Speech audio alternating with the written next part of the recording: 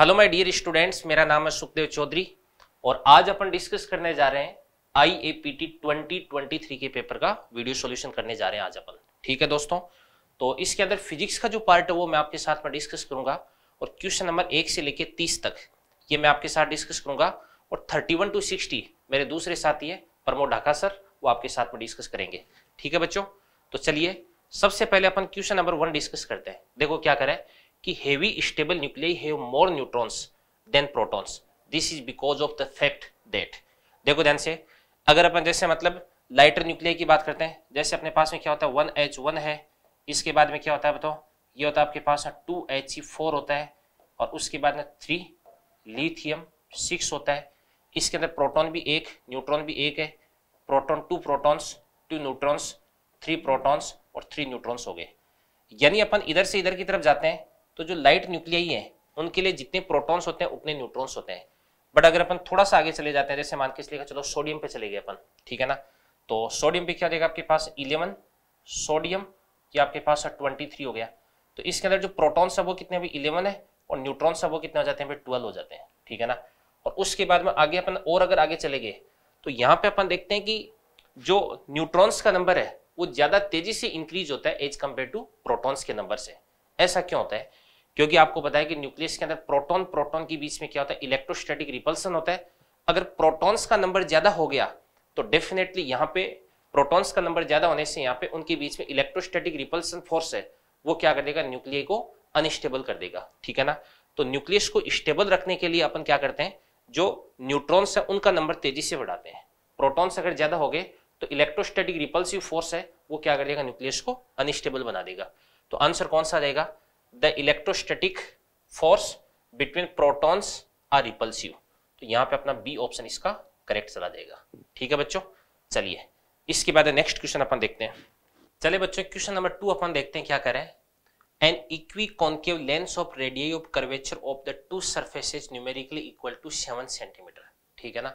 And refractive index mu equals to 1.5 has a small silver dot on the on the near surface.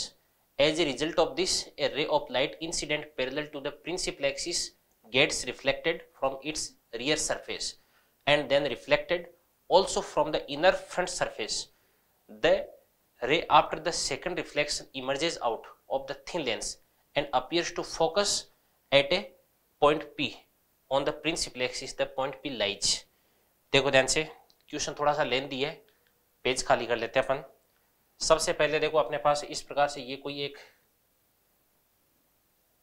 Lens है, thin lens है, और इसके ऊपर अपन क्या करते हैं, इस प्रकार से कोई पैरेलल लाइट इस प्रकार से इंसिडेंट करवाते हैं, ठीक है ना? ये पैरेलल लाइट इस प्रकार से इंसिडेंट करवा दी, और इसके जो रेडियस ऑफ़ कर्वेचर है, वो कितना देगी आपके पास है सेवन तो इसके लिए अपन जैसे कर्ड सरफेस का फॉर्मूला लगाते हैं तो म्यू टू कितना देगा 1.5 ठीक है ना? अपॉन क्या देगा v और माइनस क्या देगा म्यू वन बाई यू तो mu one by u mu one कितना देगा बताओ? वन एयर हो गई।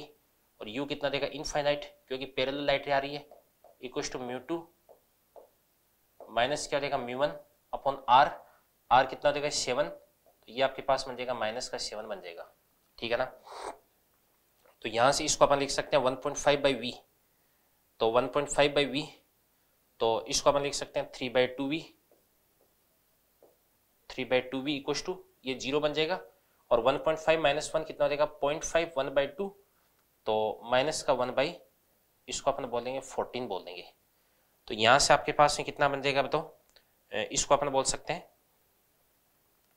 v इक्व टू माइनस का ट्वेंटी वन बन जाएगा। V कितना हो जाएगा आपके पास में? माइनस का ट्वेंटी वन आ जाएगा अभी। ठीक है ना? तो v equal to minus twenty one आ चुके हैं। अब माइनस ट्वेंटी वन का मतलब हो गया कि इसके लिए जो इमेज है, यहाँ पे इसके लिए जो इमेज बनेगी, वो कहाँ पे बनेगी? तो माइनस ट्वेंटी वन ठीक है ना? यानी यहाँ पे ट्वेंटी वन की डिस्टेंस पे बनेगी। तो ये आपके पास बन जाएगा ऑब्जेक्ट जो कि इनफाइनाइट पे था। इमेज बन जाएगी, पहली इमेज यहाँ पे बन जाएगी। इसकी डिस्टेंस कितनी हो जाएगी? ट्वेंटी वन होगी। अब इसके बाद में ये जो लाइट है, फिर उसके बाद ये इस पर इंसिडेंट करती है, इस प्रकार से यहाँ पे। ये लाइट इस पे इंसिडेंट करेगी। और फिर उसके बाद यहाँ से इस लाइटरी का क्या करवाना, अपने को रिफ्लेक्शन करवाना है। ये लाइटरी यहाँ पे रिफ्लेक्ट होती है। तो ये अपने पास एक मिरर की तरह बिहेव करेगा, ठीक है ना? तो मिरर फॉर्मूला लगा दो। तो वन बाई एफ़ तो इसकी फोकल लेंथ कितनी हो जाएगी बताओ? इसकी फोकल लेंथ तो इस मिरर के लिए फोकल लेंथ तो एफ़ इक्व टू क्या होता है बताओ? आर बाई टू होता है।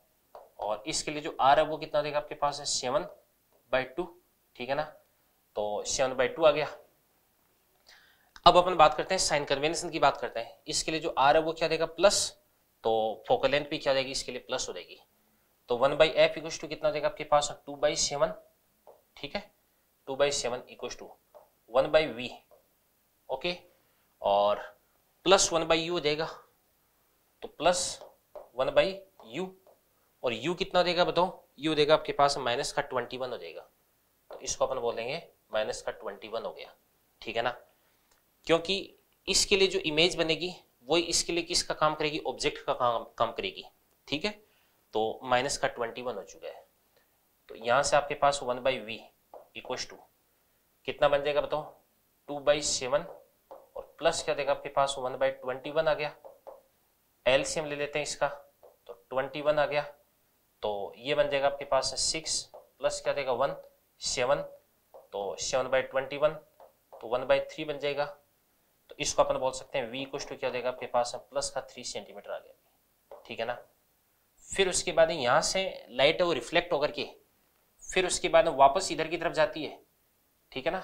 वी कुछ टू कितना देगा प्लस थ्री प्लस थ्री मतलब यहाँ पे इस प्रकार से यहाँ पे बन जाएगी। यानी लाइट रे इस प्रकार से यहाँ से, फिर उसके बाद यहाँ से फिर रिफ्लेक्ट होगी। और यहाँ से जब रिफ्लेक्ट होगी तो ये भी अपने पास एक मिरर का काम करेगा। ठीक है ना? तो ये भी मिरर का काम करेगा तो फिर मिरर फॉर्मूला लगा दो आप।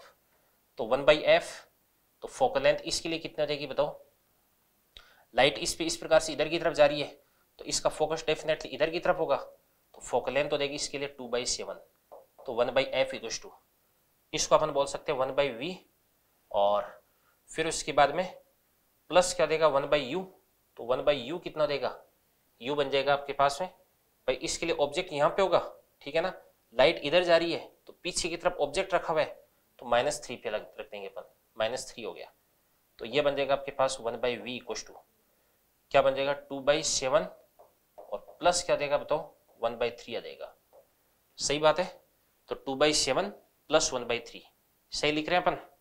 तो वन बाई वी कुछ to two by seven plus one by three बन जाएगा। तो एल एलसीएम ले लेते हैं। तो कितना देगा बताओ? Twenty one. और सेवन थ्री जा ट्वेंटी वन, थ्री टू जा six, okay? Plus seven, thirteen divided by twenty one आ गया। ठीक है ना? तो इमेज कहाँ पे बन जाएगी बताओ? अब आपके पास जो इमेज बन जाएगी, ये बन जाएगी twenty one divided by thirteen ठीक है ना? सेंटीमीटर पे बन जाएगी भी। और फिर उसके बाद में ये जो लाइट रे है, ये वापस इससे टकरा करके इधर की तरफ़ आएगी और इससे इसका रिफ्लेक्शन होगा और रिफ्लेक्टेड लाइट है वो कहाँ पे मिलेगी? वही आपका आंसर हो जाएगा। एक बार इससे आपको कर्ड सरफेस रिफ्लेक्शन और करवाना है। तो ये जो लाइट रे है ना, इससे टकरा करके इससे इस प्रकार से यूँ होते हुए पार होगी। तो म्यू टू कितना देगा आपके पास? वन। अपॉन क्या देगा? वी माइनस म्यू वन कितना देगा? One point five. अपॉन क्या देगा? यू और यू कितना देगा बताओ? यू सबसे पहली बात है कि इसके लिए जो इमेज है, इसके लिए इमेज कहाँ पे बन रही थी बताओ? 21 one divided by thirteen plus पे बन रही थी यानी डेफिनेटली इधर की तरफ़ बन रही थी तो जो इसके लिए प्लस है वो इसके लिए माइनस का बन जाएगा, ठीक है ना? तो u कितना देगा बताओ माइनस का 20 माइनस माइनस प्लस हो गया तो 21 वन डिवाइडेड बाई क्या देगा आपके पास? थर्टीन हो गया, ठीक है ना? इक्व टू ओके इसके बाद में तो mu two by v minus mu one by u equal to mu two minus mu one by R तो म्यू टू कितना देगा तो? वन माइनस कितना देगा? One point five divided by R इसके लिए जो रेडियस ऑफ़ कर्वेचर है, वो अपन प्लस लेंगे तो प्लस सेवन हो जाएगा। तो बराबर क्या देगा? आपके पास प्लस सेवन हो जाएगा। तो इसको अपन लिख सकते हैं क्या भाई? वन बाई वी और प्लस ये क्या बन जाएगा बताओ? वन पॉइंट फाइव तो इसको अपन बोल सकते हैं थ्री बाई टू ठीक है ना? तो ये सिक्स आ गया। तो इसको अपन बोलेंगे थ्री बाई टू तो फोर्टीन तो इसको अपन बोलेंगे थर्टीन डिवाइडेड बाई क्या देगा? आपके पास फोर्टीन आ गया। समझ गए? बराबर? क्या देगा? One minus one point five point five तो इसको अपन बोलेंगे वन बाई फोर्टीन आ जाएगा। तो यहाँ से आपके पास one by v equal to आ जाएगा कितना?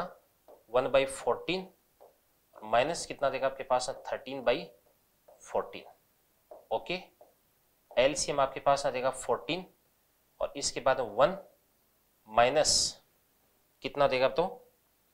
ये आपके पास में देगा one by one by fourteen, minus कितना देगा आपके पास है थर्टीन बाई फोर्टीन। ओके? तो इसको अपन लिख सकते हैं।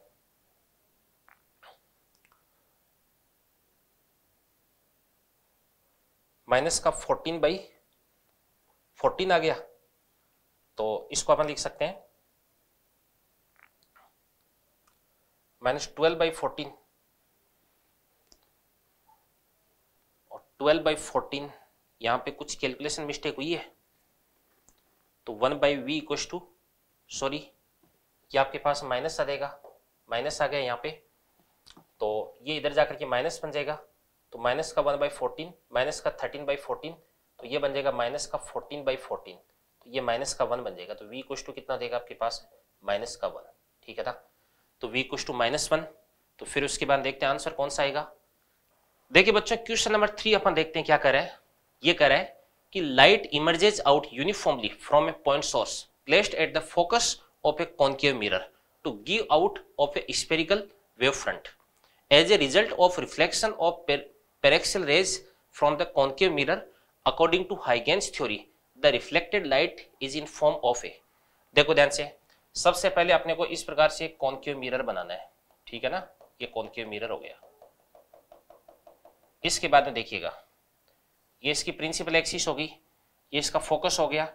यहाँ पर अपने इस प्रकार से एक पॉइंट सोर्स रख रखा है। ठीक है ना? ये पॉइंट सोर्स हो गया।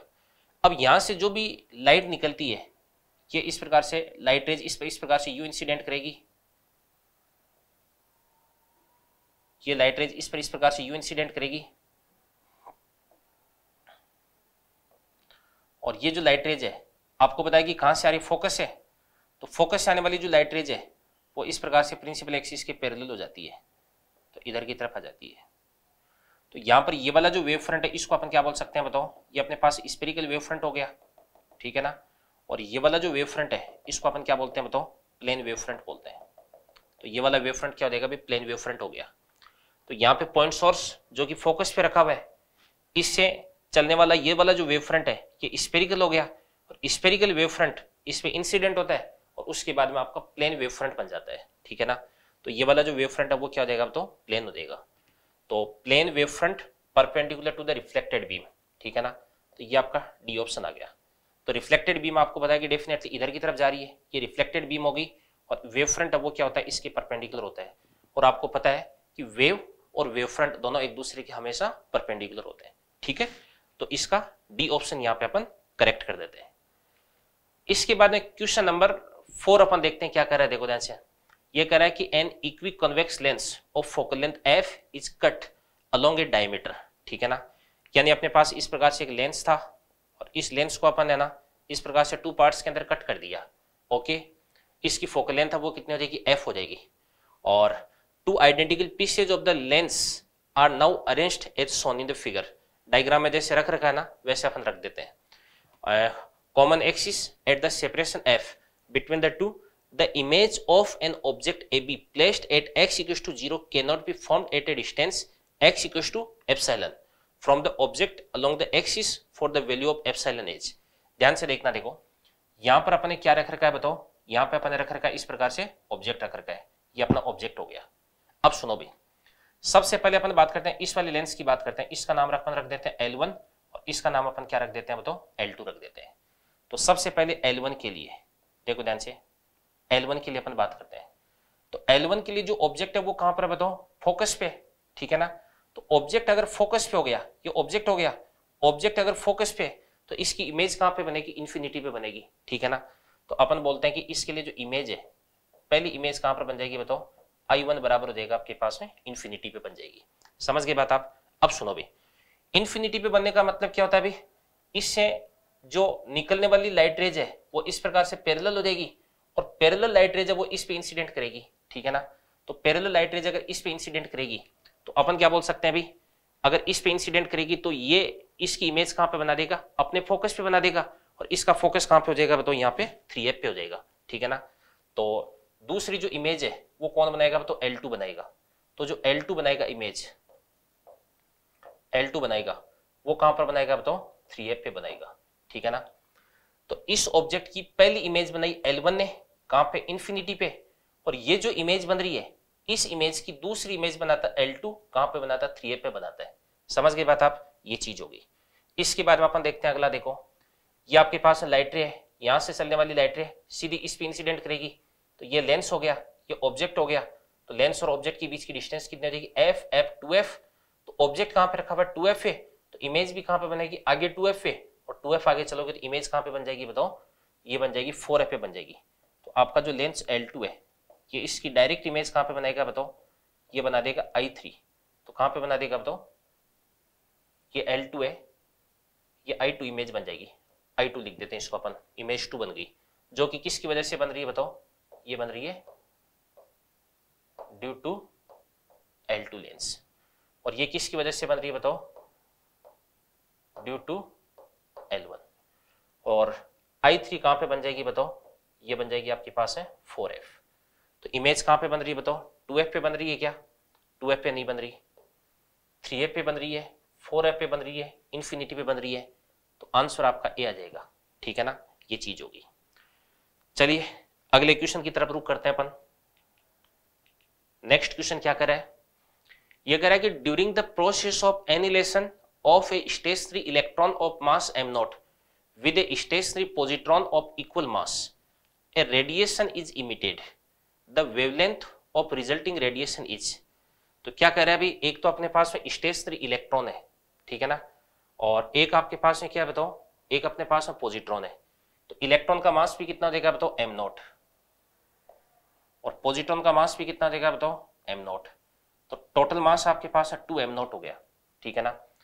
आपको पता है कि जो आइंस्टीन एनर्जी मास रिलेशन है, उसके अकॉर्डिंग मास को अपन एनर्जी में कन्वर्ट कर देंगे। तो इस मास को एनर्जी में कन्वर्ट कर देंगे तो कितनी एनर्जी बनेगी बताओ? सी स्क्वायर हो गई। ठीक है ना? ये चीज़। तो two m naught into c square इतनी एनर्जी आ गई।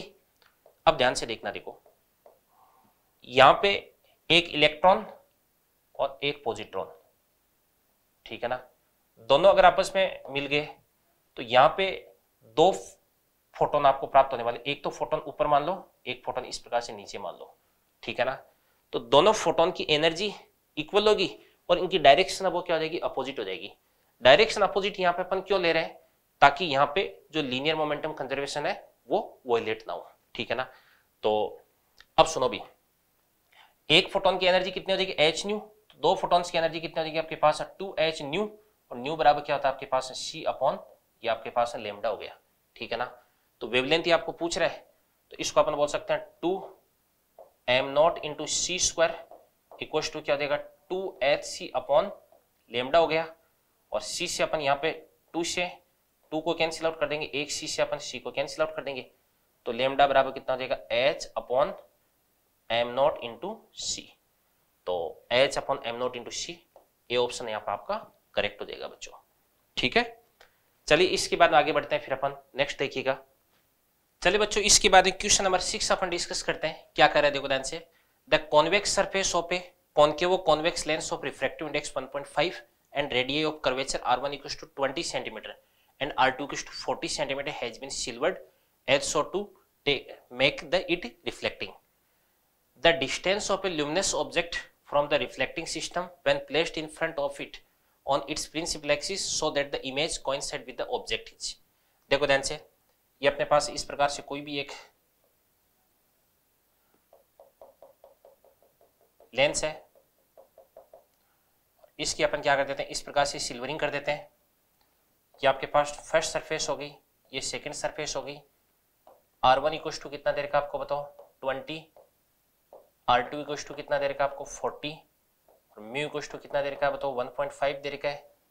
तो इस लेंस की जो फोकल लेंथ है, उसको अपन क्या लिख सकते हैं बताओ? फोकल लेंथ ऑफ़ लेंस तो one upon f L lens maker formula mu minus one तो वन पॉइंट फाइव माइनस क्या देगा आपके पास? वन इंटू क्या देगा? One upon r one one one upon r two minus one upon r one तो one upon are two कितना देगा बताओ?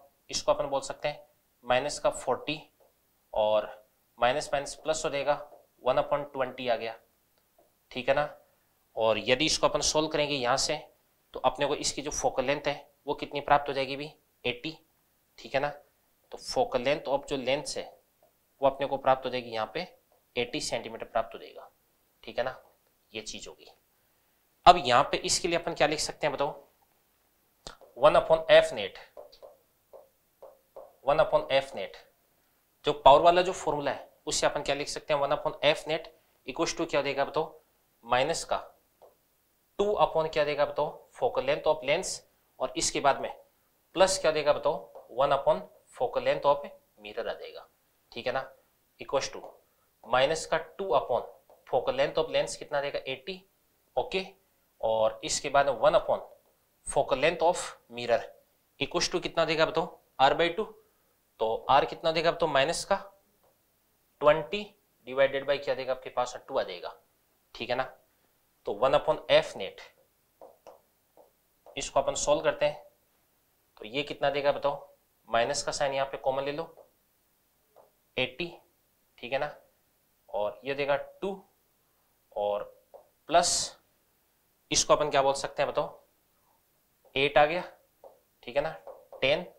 तो माइनस का टेन बाई एटी आ गया। तो यहाँ से आपके पास जो एफ़ नेट है, वो कितना देगा बताओ? माइनस का एट सेंटीमीटर आ गया, ठीक है ना? अब ध्यान से देखना, देखो फोकल लेंथ तो वो कितनी आ चुकी है? माइनस एट सेंटीमीटर आ चुकी है। अब ऑब्जेक्ट और इमेज कोइन साइड कब होते हैं? अपने को पता है कि अगर ऑब्जेक्ट है वो अपन कहाँ पे रखते हैं बताओ? सेंटर ऑफ़ कर्वेचर पे सी पे, ठीक है ना? तो इमेज भी कहाँ पे बनती है? सी पे बनती है। यानी ऑब्जेक्ट की डिस्टेंस है वो कितनी होनी चाहिए? टू एफ़ होनी चाहिए, ठीक है? तो यहाँ से आपके पास u बराबर कितना देगा बताओ? टू एफ़ इक्व टू कितना देगा बताओ? सिक्सटीन सेंटीमीटर तो सिक्सटीन सेंटीमीटर थर्ड ऑप्शन यहाँ पर आपका करेक्ट जाएगा। ठीक है बच्चों? अगला क्वेश्चन देखते हैं, इसके बारे में अपन। चलिए बच्चों, इसके बारे में अगला क्वेश्चन अपन देखते हैं। Two balls are projected from the top of a cliff with equal initial speeds u one starts at angle theta above the horizontal while the other starts at angle theta below. Difference in their ranges on ground each ध्यान से देखना देखो। अपने पास इस प्रकार से ये कोई एक क्लिफ है और इसके ऊपर अपन यहाँ पे खड़े हैं। ये हॉरिजॉन्टल लाइन यहाँ पे ड्रॉ कर देता हूँ मैं। ये हॉरिजॉन्टल लाइन होगी यहाँ पे। एक को तो मैं इस प्रकार से ऊपर की तरफ़ फेंकता हूँ और एक को नीचे की तरफ़ फेंकता हूँ। जिसको मैंने यहाँ से नीचे की तरफ़ फेंका ना तो वो तो सीधा यहाँ से है ना? वो तो सीधा यहाँ से इस प्रकार से यहाँ पर आकर के गिर जाएगी। ठीक है ना? तो इसकी जो रेंज है, इसकी रेंज को मैं यहाँ पे बोल देता हूँ आर वन बोल देता हूँ। और इसका जो एंगल है, ये अपने पास में क्या देगा? थीटा हो जाएगा। और एक को मैं इस प्रकार से ऊपर की तरफ़ फेंकता हूँ तो ऊपर की तरफ़ इस प्रकार से अगर मैं थीटा से फेंकूँगा, ये इस प्रकार से यूँ जाएगी भी। ठीक है ना? इसको मैंने ऊपर की तरफ़ थीटा से फेंका, ठीक है ना? और थोड़ी देर बाद में जब ये सेम लेवल पे पहुंचेगी तो सेम लेवल पे पहुँचने पे क्या हो जाएगा बताओ? इसका ये वाला जो एंगल है वो भी क्या देगा थीटा हो ओके ये भी आपके पास है थीटा हो अब अगर ये आपके पास है कितना भी देखो, यहाँ पे नीचे की तरफ़ एंगल इसका थीटा तो ये आर हो गया। इसका एंगल नीचे की तरफ़ थीटा तो यहाँ से लेके यहाँ तक जो डिस्टेंस है ना, इसको भी अपन क्या बोल सकते हैं तो आर बोल सकते हैं। समझ गई बात आप? और सुनो भी, यहाँ से लेके यहाँ तक की ये जो टोटल डिस्टेंस है, इस टोटल डिस्टेंस को अपन क्या बोल देंगे बताओ? आर टू बोल देंगे, ठीक है ना? अब यहाँ से जो दोनों की रेंज है, उसका डिफरेंस निकालते हैं डेल्टा आर तो डेल्टा आर क्या देगा आपके पास? R two minus r one हो गया, ठीक है ना? तो अगर अपन आर टू में से इस आर वन को माइनस कर देते हैं आर टू में से आर वन को माइनस कर देते हैं तो यहाँ से लेके यहाँ तक की डिस्टेंस आ चुकी है। और अपन जानते हैं कि यहाँ से लेके यहाँ तक की डिस्टेंस ये तो एक प्रकार से ग्राउंड टू ग्राउंड प्रोजेक्शन हो गया। और ग्राउंड टू ग्राउंड प्रोजेक्शन है, उसकी जो रेंज है, उसको अपन आर लिख देंगे। और आर बराबर कितना होता है बताओ? यू स्क्वायर फॉर्मूला अपन जानते हैं sine two theta divided by g हो गया भाई तो u square sine two theta divided by g तो यहाँ पे अपना सी ऑप्शन करेक्ट चला जाएगा। ठीक है ना? तो ध्यान से देखना, देखो इंपॉर्टेंट बात यह है कि ये वाला जो पोर्शन है, और ये वाला जो पोर्शन है, एक दूसरे के साथ में सिमेट्रिक है ठीक है ना? तो सिमेट्री को यूज़ करके अपन डायरेक्ट इसका सॉल्यूशन कर सकते हैं भी। चलिएगा। चलिए बच्चों नेक्स्ट अपन देखते हैं क्वेश्चन नंबर एट ये कह रहा है कि solid block of mass three k g suspended from the bottom of a five k g block with the help of a rope A B और mass two k g it shown in the figure when pulled by a upward force F, the whole system experiences upward acceleration A equals to 2.19 meters meter per second square. Choose the correct option. ध्यान से देखना। देखो first option क्या करें net force on the rope A B देखो A B पर net force की अपन बात करते हैं। तो अपन बात करते हैं net force on A B तो नेट फोर्स बराबर क्या होता है बताओ? एम ए होता है। ठीक है ना? Net force equal to m a तो एम कितना देगा इसका बताओ? टू हो गया। ए कितना देगा आपके पास? टू पॉइंट वन नाइन तो ये बन जाएगा आपके पास four point three eight newton. ये आंसर आना चाहिए। जबकि यहाँ पे ट्वेंटी फोर न्यूटन दे रखा है। तो ये वाला गलत हो गया।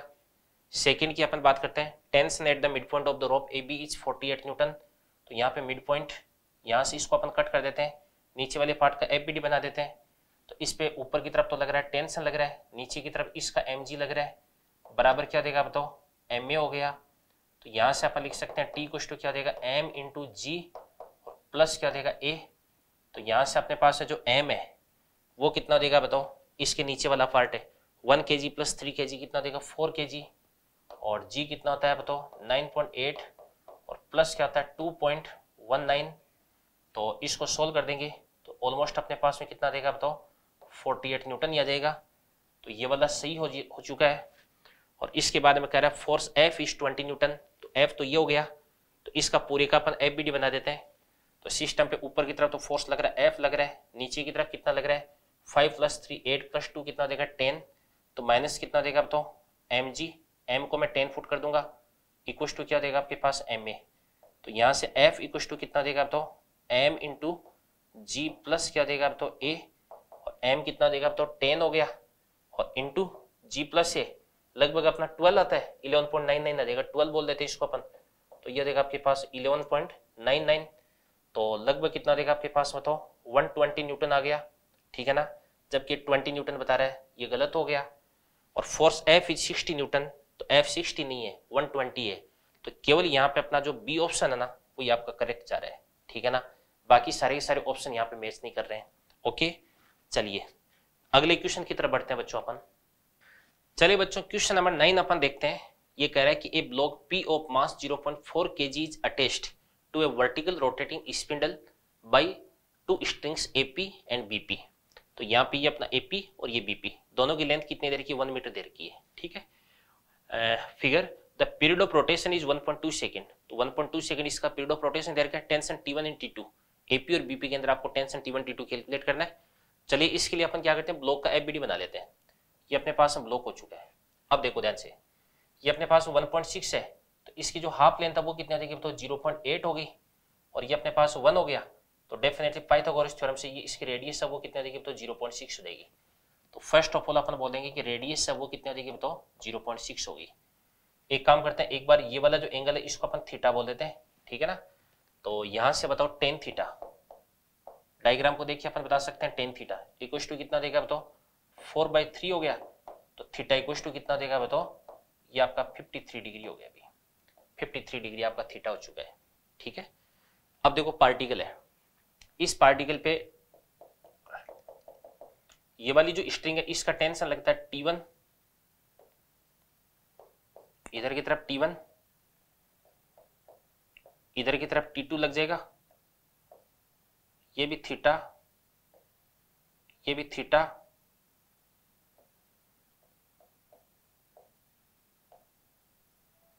ये इस पे एम जी लग गया। ओके अब सुनो देखो।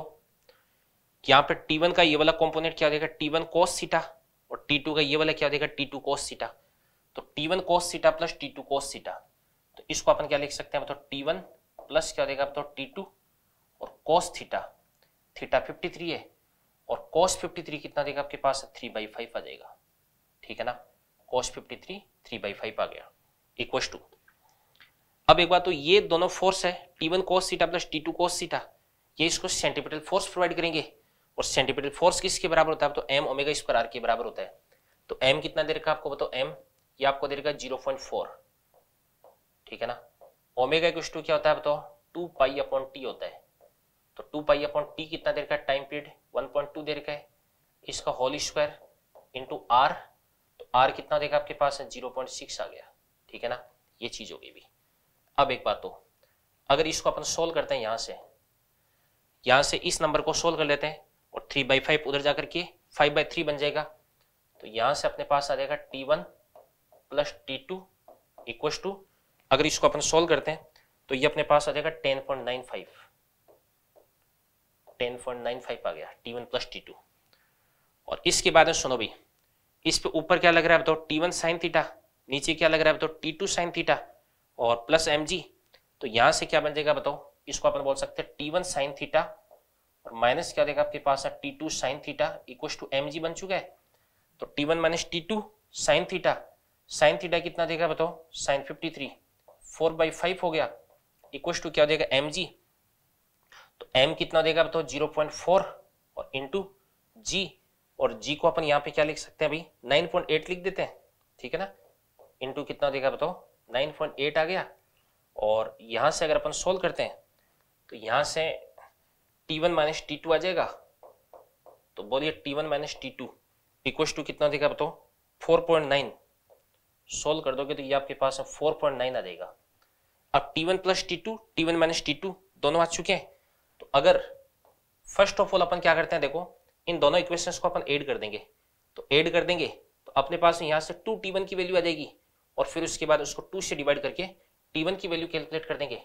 तो सोल्व करने पर अपने पास जो टी वन है उसकी वैल्यू क्या देगी बताओ? टी वन की वैल्यू जाएगी सेवन पॉइंट टी वन की वैल्यू लगभग आ जाएगी अपने पास में कितनी? सेवन फोर नाइन फाइव लगभग आ जाएगा आपके पास में seven four nine four newton आ जाएगा और टी टू टी वन की वैल्यू इस इक्वेशन के अंदर अगर हम पुट कर देंगे तो ये अपने पास आ जाएगा three point zero three newton. ठीक है बच्चों? तो ये अपना ऑप्शन आ जाएगा यहाँ पे। तो कौन सा ऑप्शन अपना फिट बैठ रहा है बताओ? सेवन पॉइंट नाइन फोर और three point zero three almost ये अप्रोक्सीमेटेड वैल्यू आएगी, थोड़ा बहुत डिफरेंस आ सकता है। तो यहाँ पे सी ऑप्शन है, ये अपना बेस्ट ऑप्शन है। ओके चलिए, आगे बढ़ते हैं क्वेश्चन नंबर टेन की तरफ़। क्वेश्चन नंबर टेन क्या कह रहे देखो? Particular mass m moves in a straight line under the influence of a certain force such that the power p delivered to it remains constant. Power constant बोल रखी है आपको यहाँ पे, ठीक है ना? Rest the straight line distance travelled by the moving particle in time T each देखो ध्यान से। अपन जानते हैं पी कुछ टू क्या होता है? बताओ power force into velocity A P two क्या होता है? Mass into acceleration into velocity हो गया। और एम को एम लिख देंगे वी को वी लिख देंगे। ए को अपन क्या लिख सकते हैं? यहाँ से D V upon D T हो गया। तो यहाँ से v into D V equal to क्या देगा? बताओ। P by M into D T हो गया। इंटीग्रेशन कर देते हैं इसको अपन। तो टी बराबर ज़ीरो पर velocity zero T equal to T पर वेलोसिटी v हो जाएगी तो ये बन जाएगा आपके पास V square divided by two बराबर, इसको अपन बोल सकते हैं P T divided by M हो जाएगा। तो यहाँ से क्या बन जाएगा बताओ, v बराबर two P T by M तो टू पी बाई एम इसको रूट के अंदर लिख दो, और टी है ना, इसको अपन बोलेंगे टी की पावर वन बाई टू आ गया, और वी को डेफिनेटली अपन क्या लिख सकते हैं D X upon D T तो यहाँ से अपने पास है D X equal to two P divided by M T की पावर क्या देगा आपके पास? One by two D T integration कर देते हैं दोनों तरफ़ से। ठीक है ना? तो एक्स का इंटीग्रेशन क्या देगा? तो एक्स बराबर ये बन जाएगा टू पी बाई एम इसका तो रूट हो गया। और इसके बाद में टी की पावर वन बाई टू का इंटीग्रेशन आपको करना है। तो क्या बन जाएगा आपके पास टी की power one by two plus one कितना three by two upon upon में क्या देगा थ्री बाई टू तो ये आपके पास थ्री बाई टू आ गया। अब देखो ध्यान से। रूट के अंदर लेके चलते हैं इसको अपन। टू रूट के अंदर देगा फोर फोर इंटू टू कितना देगा एट पी टी की power three by three upon कितना देगा थ्री नाइन बन जाएगा। नाइन एम तो क्या बन जाएगा बताओ? Eight P T cube upon nine M इसकी पावर कितनी हो जाएगी? वन बाई टू रूट है ना? तो eight P T cube upon nine M option D आपका यहाँ पे करेक्ट हो जाएगा अभी। चलिए। नेक्स्ट क्वेश्चन पे चलते हैं।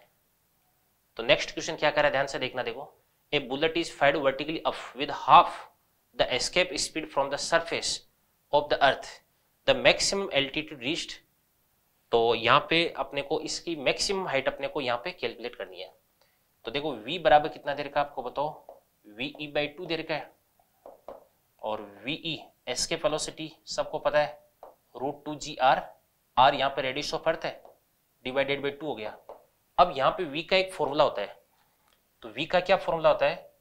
ये होता है आपके पास root of two G H upon क्या होता है? One plus H by R इसका रूट हो गया।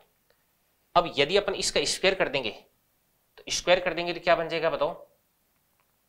स्क्वायर कर देंगे तो ये बन जाएगा आपके पास टू जी आर और डिवाइडेड बाई क्या बन जाएगा बताओ? टू का स्क्वायर फोर हो गया और बराबर इसको अपन बोल सकते हैं two G H upon one plus H upon R हो गया। यहाँ पर टू जी से टू जी को कैंसिल आउट कर देते हैं। ओके और चलो क्रॉस मल्टीप्लाई करते हैं। तो क्रॉस मल्टीप्लाई करेंगे तो क्या बन जाएगा आपके पास? Four H. तो ये देगा फोर एच बराबर।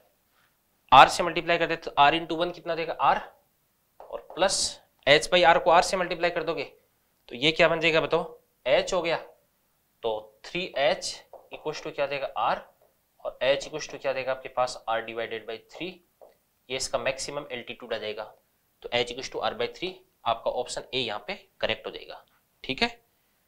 चलिए बच्चों, आगे बढ़ते हैं फिर अपन। नेक्स्ट क्वेश्चन क्या कर रहा है देखो। ये कह रहा है कि एक can is a hollow cylinder of radius R and height H its ends are sealed with circular sheets of the same material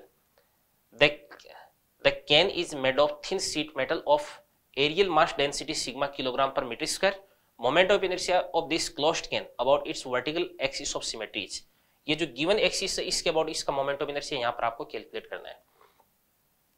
तो फ़र्स्ट ऑफ़ ऑल ध्यान से देखना, देखो आई इक्वल टू ये इसका जो, ये वाली जो फेस इसका मास मैं कैपिटल एम लिख देता हूँ। ये जो डिस्क है सर्कुलर फेस स्मॉल एम और इसका मास भी कितना देगा? अभी स्मॉल एम हो जाएगा रेडियस इसकी आर है। तो यहाँ पे ये जो एक तो अपने पास होलो सिलेंडर हो गया। तो होलो सिलेंडर का मास है वो एम तो इसका मोमेंट ऑफ़ इनर्शिया ये देगा प्लस अब ये अपने पास डिस्क है, ये भी अपने पास डिस्क है। तो एक डिस्क का कितना होता है बताओ? M R square by two ठीक है ना? तो दो डिस्क का क्या देगा बताओ? इसको अपन बोल सकते हैं two M R square by क्या देगा तो टू देगा। तो टू से यहाँ पर टू अपन कैंसिल आउट कर देंगे। तो आई इक्व टू क्या बन जाएगा तो कैपिटल एम प्लस क्या देगा आपके पास? Small M into R square देगा यहाँ पे। ठीक है ना?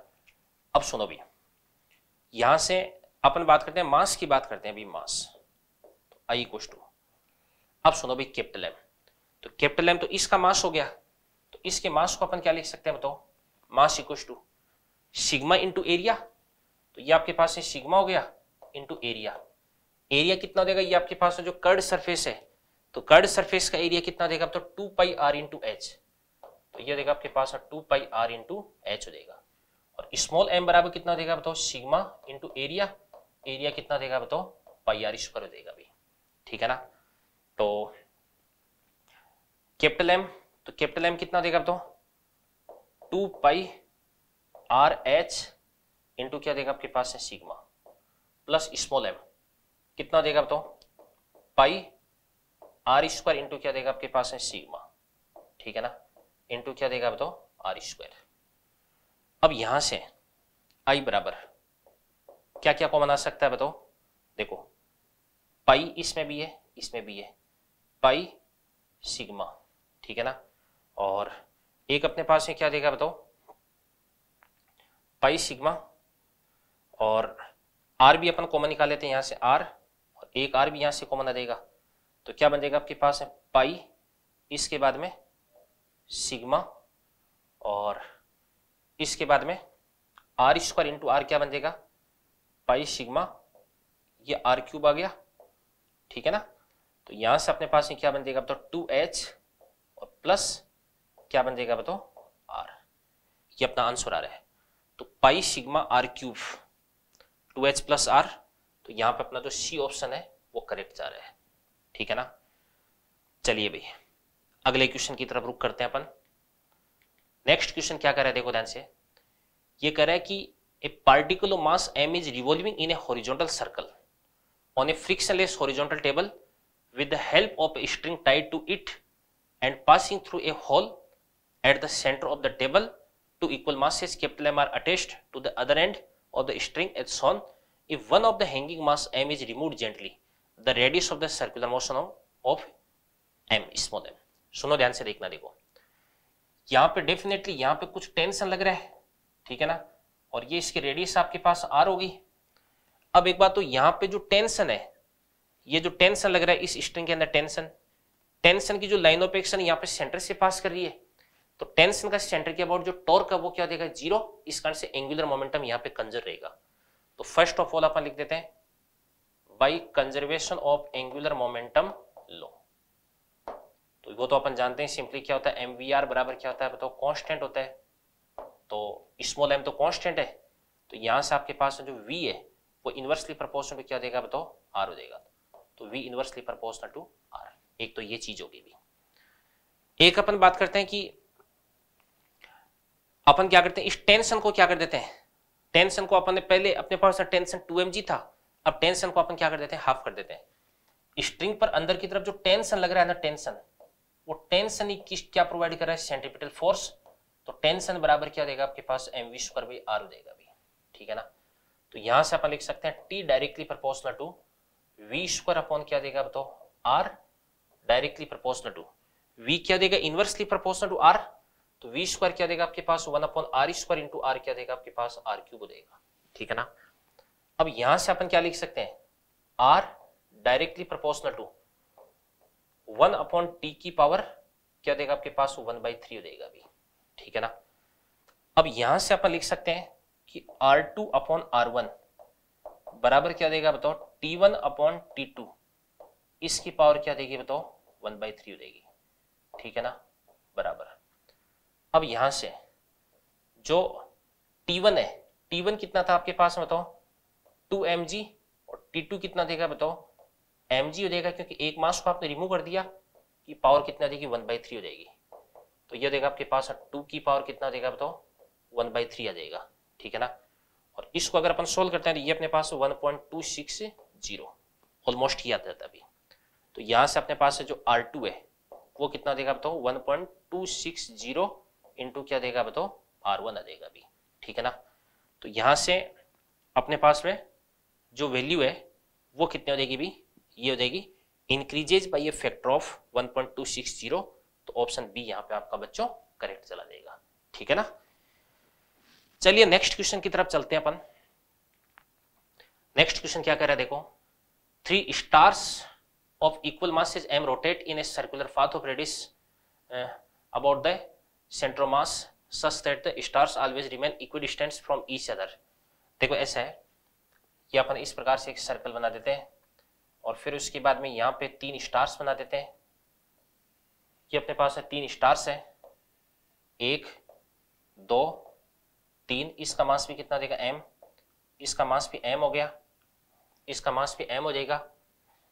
यहाँ पे मान लो कि ये जो ट्रायंगल बन रहा है, इसकी साइड कितनी देगी ए और इसके बाद इसकी जो रेडियस है ना, वो आपको यहाँ पे स्मॉल आर बोल रखा है। अब एक बात तो यहाँ से अपन क्या लिख सकते हैं अभी?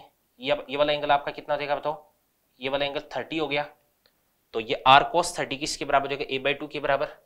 तो R cos thirty cos thirty कितना देगा बताओ? Root three by two equal to कितना देगा आपके पास? ए बाई टू तो यहाँ से क्या बन जाएगा बताओ? ए टू कितना देगा? ये देगा आपके पास रूट थ्री आर हो गया। अब एक बात तो इस पर, इस पार्टिकल पे इसका फोर्स भी कितना है? अभी एफ़ है और इसका फोर्स भी कितना देगा? एफ़ हो जाएगा तो यहाँ पे जो एफ़ है, उस एफ़ को अपन क्या लिख सकते हैं? F equal to G M square upon क्या देगा बताओ? ए स्क्वायर तो बराबर ये देगा आपके पास G M square upon A square तो ए स्क्वायर कितना देगा बताओ? ये देगा आपके पास थ्री आर स्क्वायर देगा। और अब इस पे नेट फोर्स कितना देगा? नेट फोर्स इन दोनों का रिजल्टेंट इधर की तरफ़ आ जाएगा तो ये बन जाएगा आपके पास एफ़ नेट और एफ़ नेट कितना देगा बताओ root three times of F हो गया। और रूट थ्री टाइम्स तो ये देगा आपके पास जी एम स्क्वायर अपॉन क्या देगा बताओ root three into R square और ये जो नेट फोर्स है, वो क्या करता है? नेसेसरी सेंटीपिटल फोर्स प्रोवाइड करता है।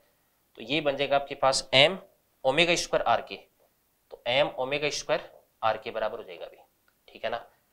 अब यहाँ से इसको अपन सोल्व करते हैं तो एम से अपन एम को कैंसिल आउट कर देंगे तो आपके पास ओमेगा स्क्वायर बराबर कितना देगा बताओ?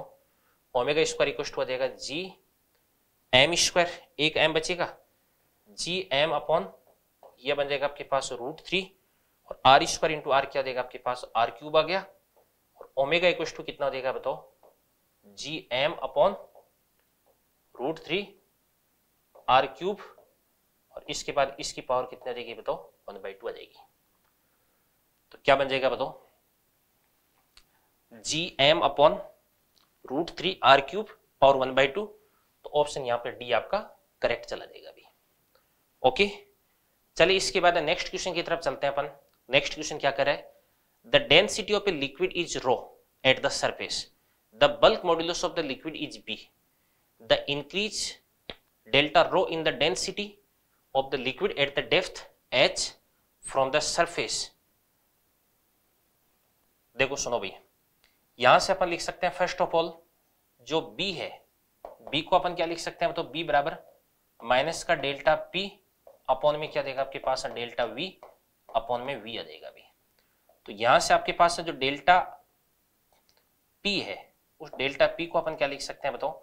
माइनस का बी इंटू क्या देगा आपके पास डेल्टा वी अपॉन वी आ गया भी अब सुनो भी। अपन जानते हैं कि मास इक्व टू क्या होता है? तो वॉल्यूम इंटू डेंसिटी और मास क्या रहता है अभी? इसका कांस्टेंट रहता है। तो कांस्टेंट का डिफ्रेंसिएशन क्या देगा? ज़ीरो तो v delta rho plus rho delta V constant का डिफ्रेंसिएशन ज़ीरो तो यहाँ से आपके पास जो डेल्टा वी अपॉन वी है, इसको अपन लिख सकते हैं माइनस का डेल्टा रो अपॉन रो आ गया। और डेल्टा पी अपन जानते ही है, क्या होता है अभी? प्रेशर में डिफरेंस आ जाता है एच हाइट की वजह से। Rho G H equal to B minus minus तो प्लस हो देगा। और इंटू क्या देगा आपके पास? डेल्टा रो अपॉन में रो आ गया। अब यहाँ से डेल्टा रो आपको कैलकुलेट करना है। तो डेल्टा रो इक्व टू कितना देगा बताओ? ये देगा आपके पास rho square G H rho square G H divided by क्या देगा आपके पास बी? यही आपका आंसर आ देगा। तो rho square G H divided by B आपका ए ऑप्शन यहाँ पे करेक्ट आ जाएगा तो क्वेश्चन नंबर 15 अपना सोल्व हो चुका है। नेक्स्ट क्वेश्चन की तरफ़ चलते हैं। क्वेश्चन नंबर 16 ये क्या कर रहा है? ध्यान से देखना, देखो। ये कह रहा है कि water flows at 1.2 metre per second through a hose of diameter 1.59 centimetre ठीक है ना? The time required to fill a cylindrical container of radius 2 metre to a height of 1.25 metre will be nearly ध्यान से देखना देखो। अपन बात करते हैं वॉल्यूम फ्लो रेट की बात करते हैं यहाँ पे वॉल्यूम फ्लो रेट जिसको अपन यहाँ पे क्यू भी लिख सकते हैं। और क्यू बराबर क्या होता है बताओ? D V upon D T और इक्व टू क्या होता है? एरिया इंटू क्या होता है? स्पीड होता है अभी। अब यहाँ पे इसका जो वॉल्यूम है वॉल्यूम कितना देगा तो एरिया इंटू हाइट तो एरिया कितना देगा आपके पास? पाई आर स्क्वायर आपको इसका, इसकी रेडियस दे रखी कितनी दे रखी है बताओ? टू मीटर इसकी रेडियस दे रखी है तो पाई तो आर स्क्वायर यानी टू स्क्वायर ये एरिया हो गया, और हाइट कितनी हो जाएगी आपके पास? 1.25 मीटर ठीक है ना?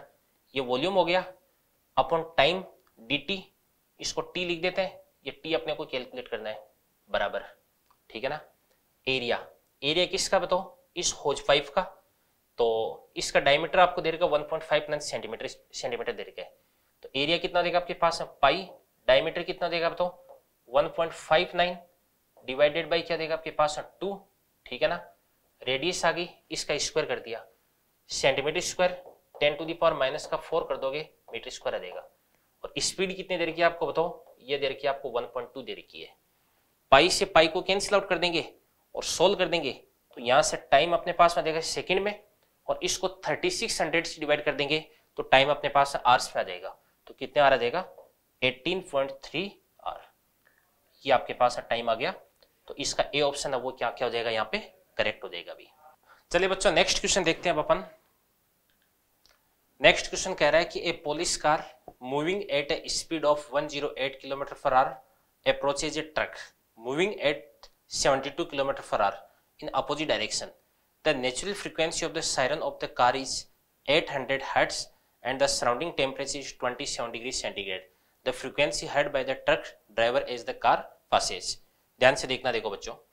देखो फ़र्स्ट ऑफ़ ऑल यहाँ पे जो टेम्परेचर वो अपने को दे रखा ट्वेंटी सेवन डिग्री सेंटीग्रेड तो एक अपने पास फॉर्मूला होता है कि velocity of sound at T temperature equal to क्या होता है? V naught zero degree centigrade plus क्या होता है आपके पास? Zero point six one into क्या देगा? टी देगा। तो यहाँ से आपके पास जो वी नॉट है ये आपको पता है ज़ीरो डिग्री सेंटीग्रेड पे थ्री थ्री टू और plus zero point six one into T. और टी कितना देगा आपके पास? ट्वेंटी सेवन डिग्री सेंटीग्रेड हो गया। और इसको सोल्व कर दोगे तो ऑलमोस्ट आपके पास में three four eight metre per second. ये स्पीड ऑफ़ साउंड आ चुका है। ठीक है ना? अब सुनो भाई देखो, पहले केस के अंदर क्या कह रहे हैं? Police car moving at a speed of 108 kilometre per hour approach is a truck moving at 72 kilometre per hour in opposite direction the natural frequency of the sign of the car देखो, यहाँ पर ये जो car है, और ये अपने पास truck हो गया, ठीक है ना? तो जो कार है, वो इसको इस प्रकार से अप्रोच करती है, ठीक है? और ट्रक है, ये इसके अपोजिट डायरेक्शन मूव कर रहा है। तो जो कार है, उसकी स्पीड कितनी हो जाएगी 108 तो 108 किलोमीटर पर आवर में इसको 5 बाई एटीन से आप मल्टीप्लाई कर दोगे, ठीक है ना? तो कितना देगा आपके पास थर्टी और इसकी स्पीड कितनी देर की? Seventy two. इसको फाइव बाई एटीन से मल्टीप्लाई कर दोगे तो ये आपके पास कितना देगा बताओ ट्वेंटी मीटर पर सेकेंड हो देगा इसको अपन बोलेंगे ट्वेंटी मीटर पर सेकेंड। इसकी जो फ्रीक्वेंसी है, वो कितने देर की आपको बताओ? 800 दे रखी है।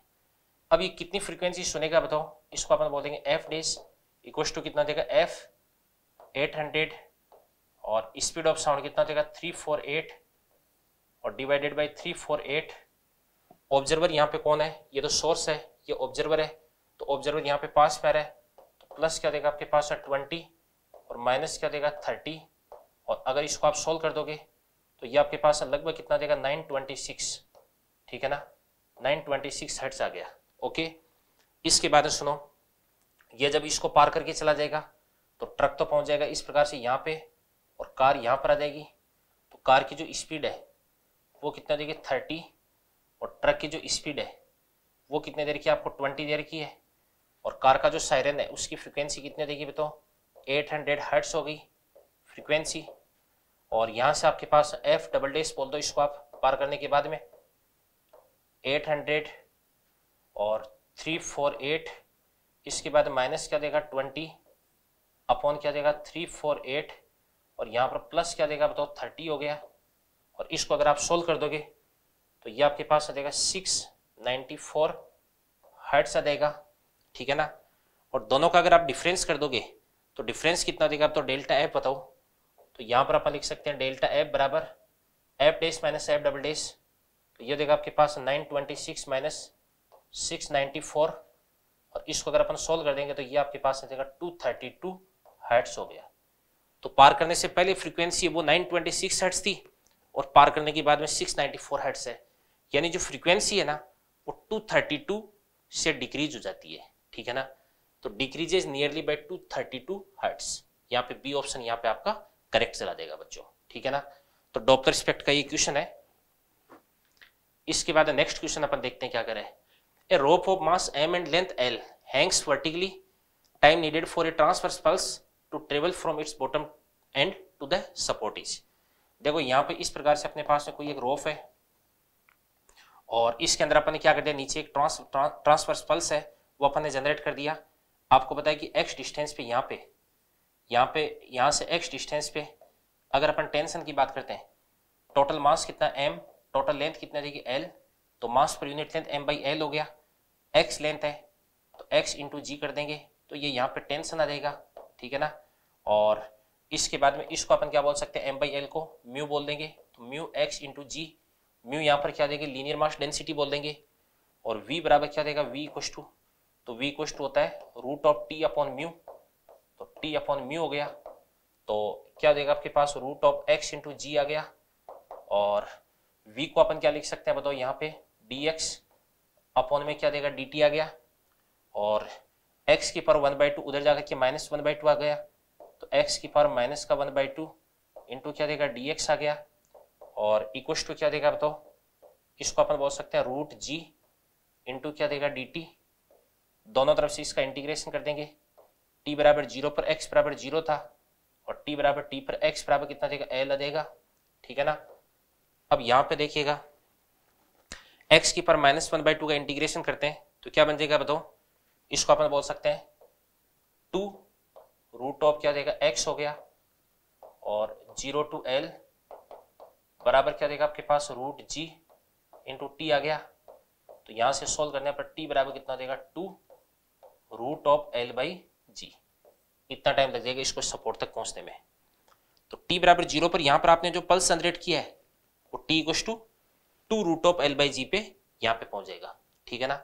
तो two root of L by G यहाँ पे बी ऑप्शन आपका करेक्ट हो जाएगा बच्चों। ठीक है? चलिए, इसके बाद आगे बढ़ते हैं अपन। नेक्स्ट क्वेश्चन देखिएगा।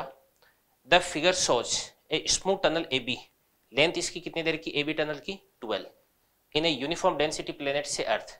और mass capital M and radius capital R a small ball of mass, small M is release from rest at the end A of the tunnel. Expression due to gravity at surface of the planet is small G. Time taken by the ball to reach reach the end B is. तो इसको and B तक पहुँचने के लिए time आपको यहाँ पर पूछ रखा अभी।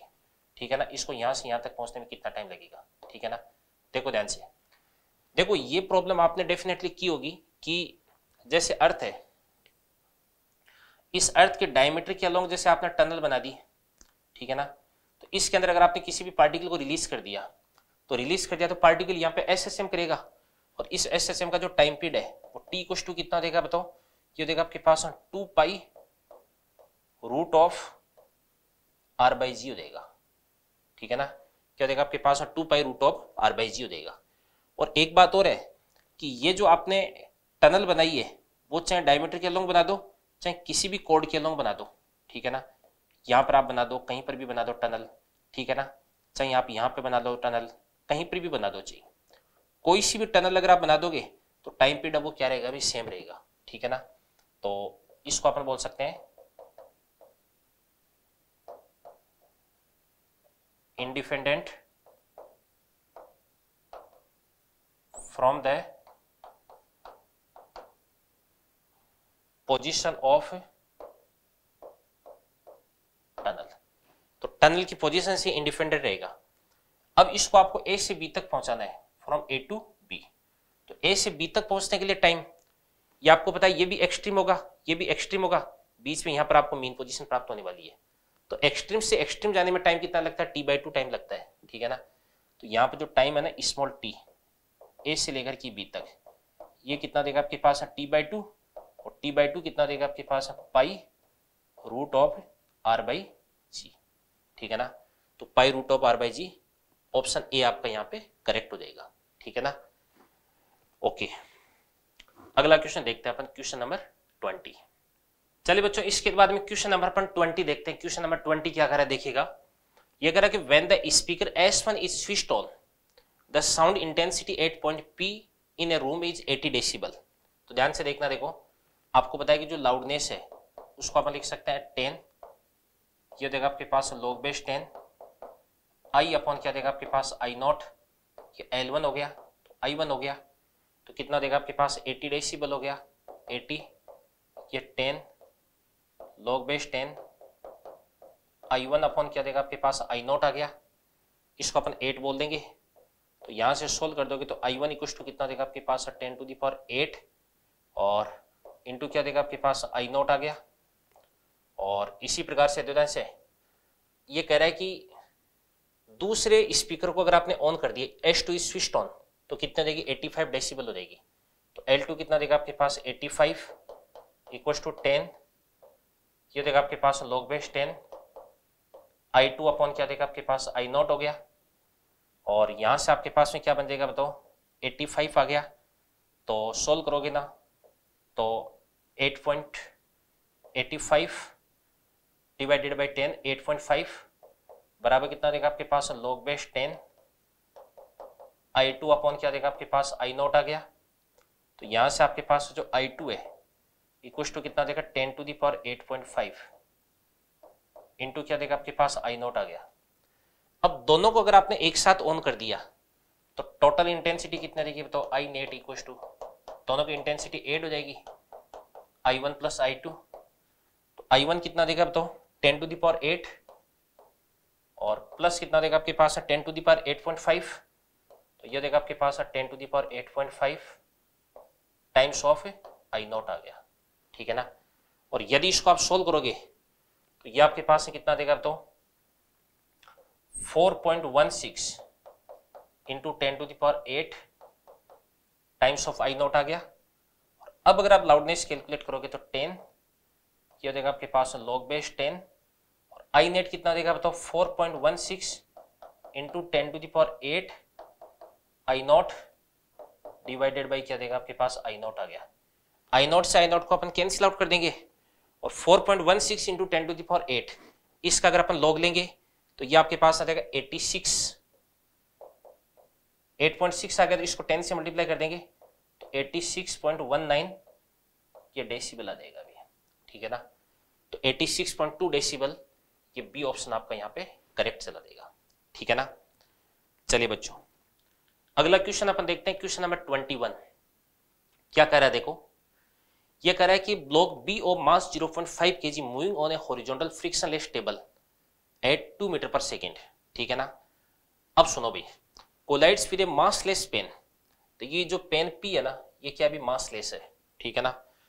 यानी यहाँ पे किसी भी प्रकार की एनर्जी का लॉस नहीं होना है। At origin and sticks to it the pan is connected at the end of a horizontal unstressed relaxed spring of force constant K equals to 32 newton per metre as shown figure after the block collides the displacement as a function of T यानी T के function में इस block का आपको displacement आपको बताना है।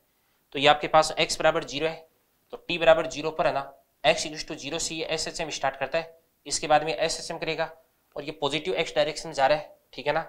तो इसको अपन क्या लिख सकते हैं तो x इक्वल टू ये देगा आपके पास a sine omega T plus क्या देगा आपके पास फाइव फाइव क्या होती है इनिशियल फ़ेज़ और t बराबर ज़ीरो पे x बराबर ज़ीरो है इनिशियल फ़ेज़ फाइव कितना देगा आपके पास है? ज़ीरो तो ये बन जाएगा आपके पास X equal to A sine into क्या देगा आपके पास? Omega T sine omega T हो गया सॉरी ओमेगा इक्व टू क्या होता है? तो root of K by M root of K by M के कितना देगा आपके पास है? थर्टी टू एम कितना देगा? पॉइंट फाइव सिक्सटी फोर यह देगा आपके पास एट तो ओमेगा कितना देगा? एट देगा. इसके बाद में इसकी काइनेटिक एनर्जी पोटेंशियल एनर्जी में कन्वर्ट कर दो. काइनेटिक एनर्जी कितनी देगी ब्लॉक की तो हाफ़ ब्लॉक का मास कितना देगा तो 0.5 हो गया। इसको अपन बोलेंगे 0.5 और इसकी वेलोसिटी कितना देगा टू टू का स्क्वायर कितना देगा फोर ठीक है ना? इक्वल टू हाफ़ के कितना देगा बताओ thirty two into X square maximum displacement कितना देगा? एम्पलीट्यूड ए स्क्वायर देगा, ठीक है ना? तो यहाँ से आपके पास वन आ गया। तो ए स्क्वायर इक्व टू कितना देगा? ए स्क्वायर इक्व टू क्या देगा आपके पास? वन बाई सिक्सटीन ठीक है ना? तो यहाँ से आपके पास ए कुछ टू कितना देगा? वन बाई फोर या देगा आपके पास zero point two five metre हो गया। तो वैल्यू फुट कर देंगे। तो ए कुछ टू कितना देगा? ज़ीरो पॉइंट टू फाइव ये तो amplitude sine omega at T omega T हो गया। ठीक है ना? तो zero point two five sine at T metre. B option इसका करेक्ट चला जाएगा। ठीक है बच्चों? इसके बाद अगला क्वेश्चन अपन देखते हैं। देखो क्या करें ये कह रहा है कि which of the following functions does not represent a travelling wave देखो ध्यान से।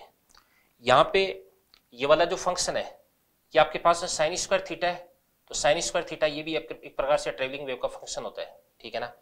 और यहाँ पर ये आपके पास है, क्या देगा तो cos omega T minus K X या कोस की एक्स माइनस ओमेगा टी ये भी आपके पास ट्रेवलिंग वेव का फ़ंक्शन है। और यहाँ पर क्या बन जाएगा अभी? कोस ये क्या बन रहा है अभी? K X minus omega T इसका स्क्वायर ये भी क्या होता है? ट्रेवलिंग वेव का फ़ंक्शन बनता है। बट यहाँ पे देता है K X square minus omega T square ये ट्रेवलिंग वेव का फ़ंक्शन नहीं है। वेव का जो फ़ंक्शन है इसको ये डिफाइन नहीं करता है, इस कारण से यही हो जाएगा इसका आंसर ठीक है? इसके बाद नेक्स्ट आगे बढ़ते हैं फिर अपन। देखो क्या करें। Two carnot heat engine are connected in series such that the sink of the first engine is heat source of the second efficiency of the engine are eta one eta two respectively net efficiency eta of the combination of given बात सुनो भी देखो, सबसे पहले आपके पास है, ये आपके पास इंजन हो जाएगा, ठीक है ना? कार्नोट इंजन, इसको अपन बोलेंगे ई वन बोलेंगे ये आपका इंजन हो गया, और ये आपके पास इंजन हो जाएगा, इस प्रकार से ई टू हो गया, ठीक है?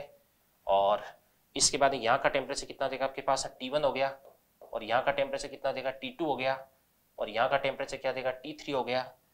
यहाँ से ये क्या करता है? कुछ हीट लेता है। कितनी हीट लेता है भाई क्यू वन हीट लेता है। इसके बाद कुछ तो ये क्या करता है? वर्कडन करता है। डब्ल्यू वन और कुछ हीट ये इसको दे देता है क्यू टू और ये जो हीट है ना, ये ये इसको मिल जाती है। क्यू टू हीट इसको मिल गई। और फिर उसके बाद इसे ये क्या करता है, कुछ वर्कडन करता है डब्ल्यू टू और फिर उसके बाद इसको ये हीट दे देता है, कितनी भी क्यू हीट दे देता है। ठीक है ना? अब एक बात तो इसकी जो एफिशिएंसी है, इसको अपन क्या बोल देंगे बताओ ईटा वन तो ईटा वन इक्व टू क्या देगा बताओ, इसकी एफिशिएंसी वन माइनस इसको अपन बोलेंगे टी टू अपॉन क्या देगा बताओ टी वन हो गया। ठीक है ना? अब यहाँ से जो टी टू अपॉन टी है T two upon T one equal to कितना देगा बताओ? वन माइनस क्या देगा बताओ? ईटा वन हो गया। सिमिलरली इसकी जो एफिशिएंसी की अपन बात करते हैं, इस वाले इंजन की एफिशिएंसी तो ये क्या देगी बताओ? ईटा टू तो इसको अपन बोलेंगे ईटा टू इक्व टू क्या देगा बताओ? One minus T three upon T two तो टी थ्री अपॉन क्या देगा बताओ? टी टू तो यहाँ से आपके पास है T three upon T two equal to क्या बन जाएगा बताओ? वन माइनस क्या देगा बताओ? ईटा टू आ गया।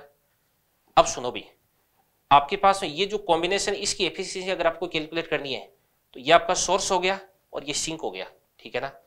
तो ओवरऑल जो एफिशिएंसी कॉम्बिनेशन की ईटा इक्व टू क्या देगा? वन माइनस इसको अपन बोलेंगे टी थ्री अपॉन क्या देगा बताओ? टी वन हो गया। अब यहाँ से आपके पास जो T three upon T one है तो T three upon T one equal to क्या देगा? वन माइनस क्या देगा बताओ? ईटा हो गया जी। ठीक है ना? अब देखिएगा यहाँ पे। यहाँ पे अपने को T three upon T one calculate करना है तो इसके लिए अपन एक काम करते हैं। इसको बोल दो इक्वेशन वन बोल दो इसको आप, और इसको अपन बोल देते हैं इक्वेशन टू बोल देते हैं। अगर आपने इक्वेशन वन और इक्वेशन टू को मल्टीप्लाई कर दिया तो यहाँ पे आपके पास में देखो ध्यान से T three T two upon T one और T three upon T two तो टी टू से टी टू कट जाएगा, ठीक है ना? तो T three upon T one आ जाएगा। तो इक्वेशन वन और टू को मल्टीप्लाई कर दोगे, ठीक है ना? तो वन और टू को मल्टीप्लाई कर दोगे तो ये आपके पास देगा वन माइनस ईटा वन ठीक है ना? और इंटू क्या देगा आपके पास? वन माइनस क्या देगा ईटा टू ये मल्टीप्लाई कर दिया। और बराबर क्या देगा T three upon T one तो इसको अपन बोल देंगे वन माइनस क्या देगा तो ईटा हो जाएगा, ठीक है ना? तो आपको यहाँ पे ईटा की वैल्यू कैलकुलेट करनी है। तो एक बार एक काम करते हैं, इन दोनों को मल्टीप्लाई कर देते हैं, ठीक है ना? सबसे पहले वन को अपन इससे मल्टीप्लाई करते हैं तो वन इंटू वन क्या देगा? आपके पास वन, ठीक है ना? और माइनस क्या देगा बताओ? ईटा टू आ गया। इसके बाद माइनस ईटा वन को इससे मल्टीप्लाई करते हैं तो क्या बन जाएगा आपके पास? माइनस का ईटा वन और माइनस माइनस क्या देगा? प्लस यह देगा आपके पास ईटा वन इंटू क्या देगा? ईटा टू और इक्व टू क्या देगा बताओ? वन माइनस क्या देगा? ईटा तो यहाँ पर ये जो वन है, इस वन को अपन इस वन से कैंसिल आउट कर देंगे। तो उधर की तरफ़ क्या बन जाएगा? आपके पास माइनस का ईटा बन गया। तो यहाँ से माइनस से मल्टीप्लाई कर दोगे तो ईटा देगा। इसको भी माइनस से मल्टीप्लाई कर देते हैं। तो माइनस से मल्टीप्लाई कर दोगे तो क्या बन जाएगा आपके पास? एन वन और प्लस क्या देगा बताओ? एन टू माइनस क्या देगा आपके पास? N one into N two आ गया। ठीक है ना? और इसके बाद में देखो, कौन सा आंसर बन जाएगा बताओ? इसको अपन लिख सकते हैं। ये बन जाएगा। यहाँ से अपन कुछ कॉमन ले लेते ईटा वन ले लो। तो ये बन जाएगा आपके पास ईटा वन, और प्लस क्या देगा तो प्लस ईटा टू को आप कॉमन ले लो तो वन माइनस क्या देगा आपके पास ईटा वन आ गया। सही बात है? ईटा टू को कॉमन ले लोगे तो वन माइनस क्या देगा बताओ ईटा वन आ गया। तो कौन सा आंसर आ रहा है बताओ? ईटा इक्व टू क्या देगा बताओ eta one plus eta two one minus क्या देगा ईटा वन सी ऑप्शन यहाँ पे आपका करेक्ट आ रहा है ठीक है ना? चलिए बच्चों, अगले क्वेश्चन की तरफ़ रुक करते हैं अपन। नेक्स्ट क्वेश्चन क्या कर देखो। चलिए बच्चों क्वेश्चन नंबर 24 की बात करते हैं अपन। ये कह रहा है कि an air bubble of radius 2 M M at a depth 20 metre below the surface of water at temperature of a degree centigrade rises to surface when the temperature is 16 degree centigrade, neglecting the effect of surface tension, the radius of the bubble at the surface is estimated to the देखो बच्चों surface tension है, उसका effect अपने को यहाँ पे consider करना नहीं है। तो यहाँ पे एक चीज़ अपने समझ में आती है कि जैसे मतलब बबल है। सबसे पहले जो बबल है, वो कहाँ पे था बताओ? यहाँ पे था।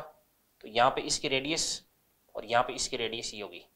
तो डेफिनेटली यहाँ पे जो प्रेशर है, वो कितना पी वन इसका वॉल्यूम कितना देगा आपके पास? वी वन और यहाँ पे टेम्परेचर कितना देगा? टी वन यहाँ पे प्रेशर कितना देगा? पी टू वॉल्यूम कितना देगा? वी टू और टेम्परेचर कितना देगा आपके पास? टी टू देगा।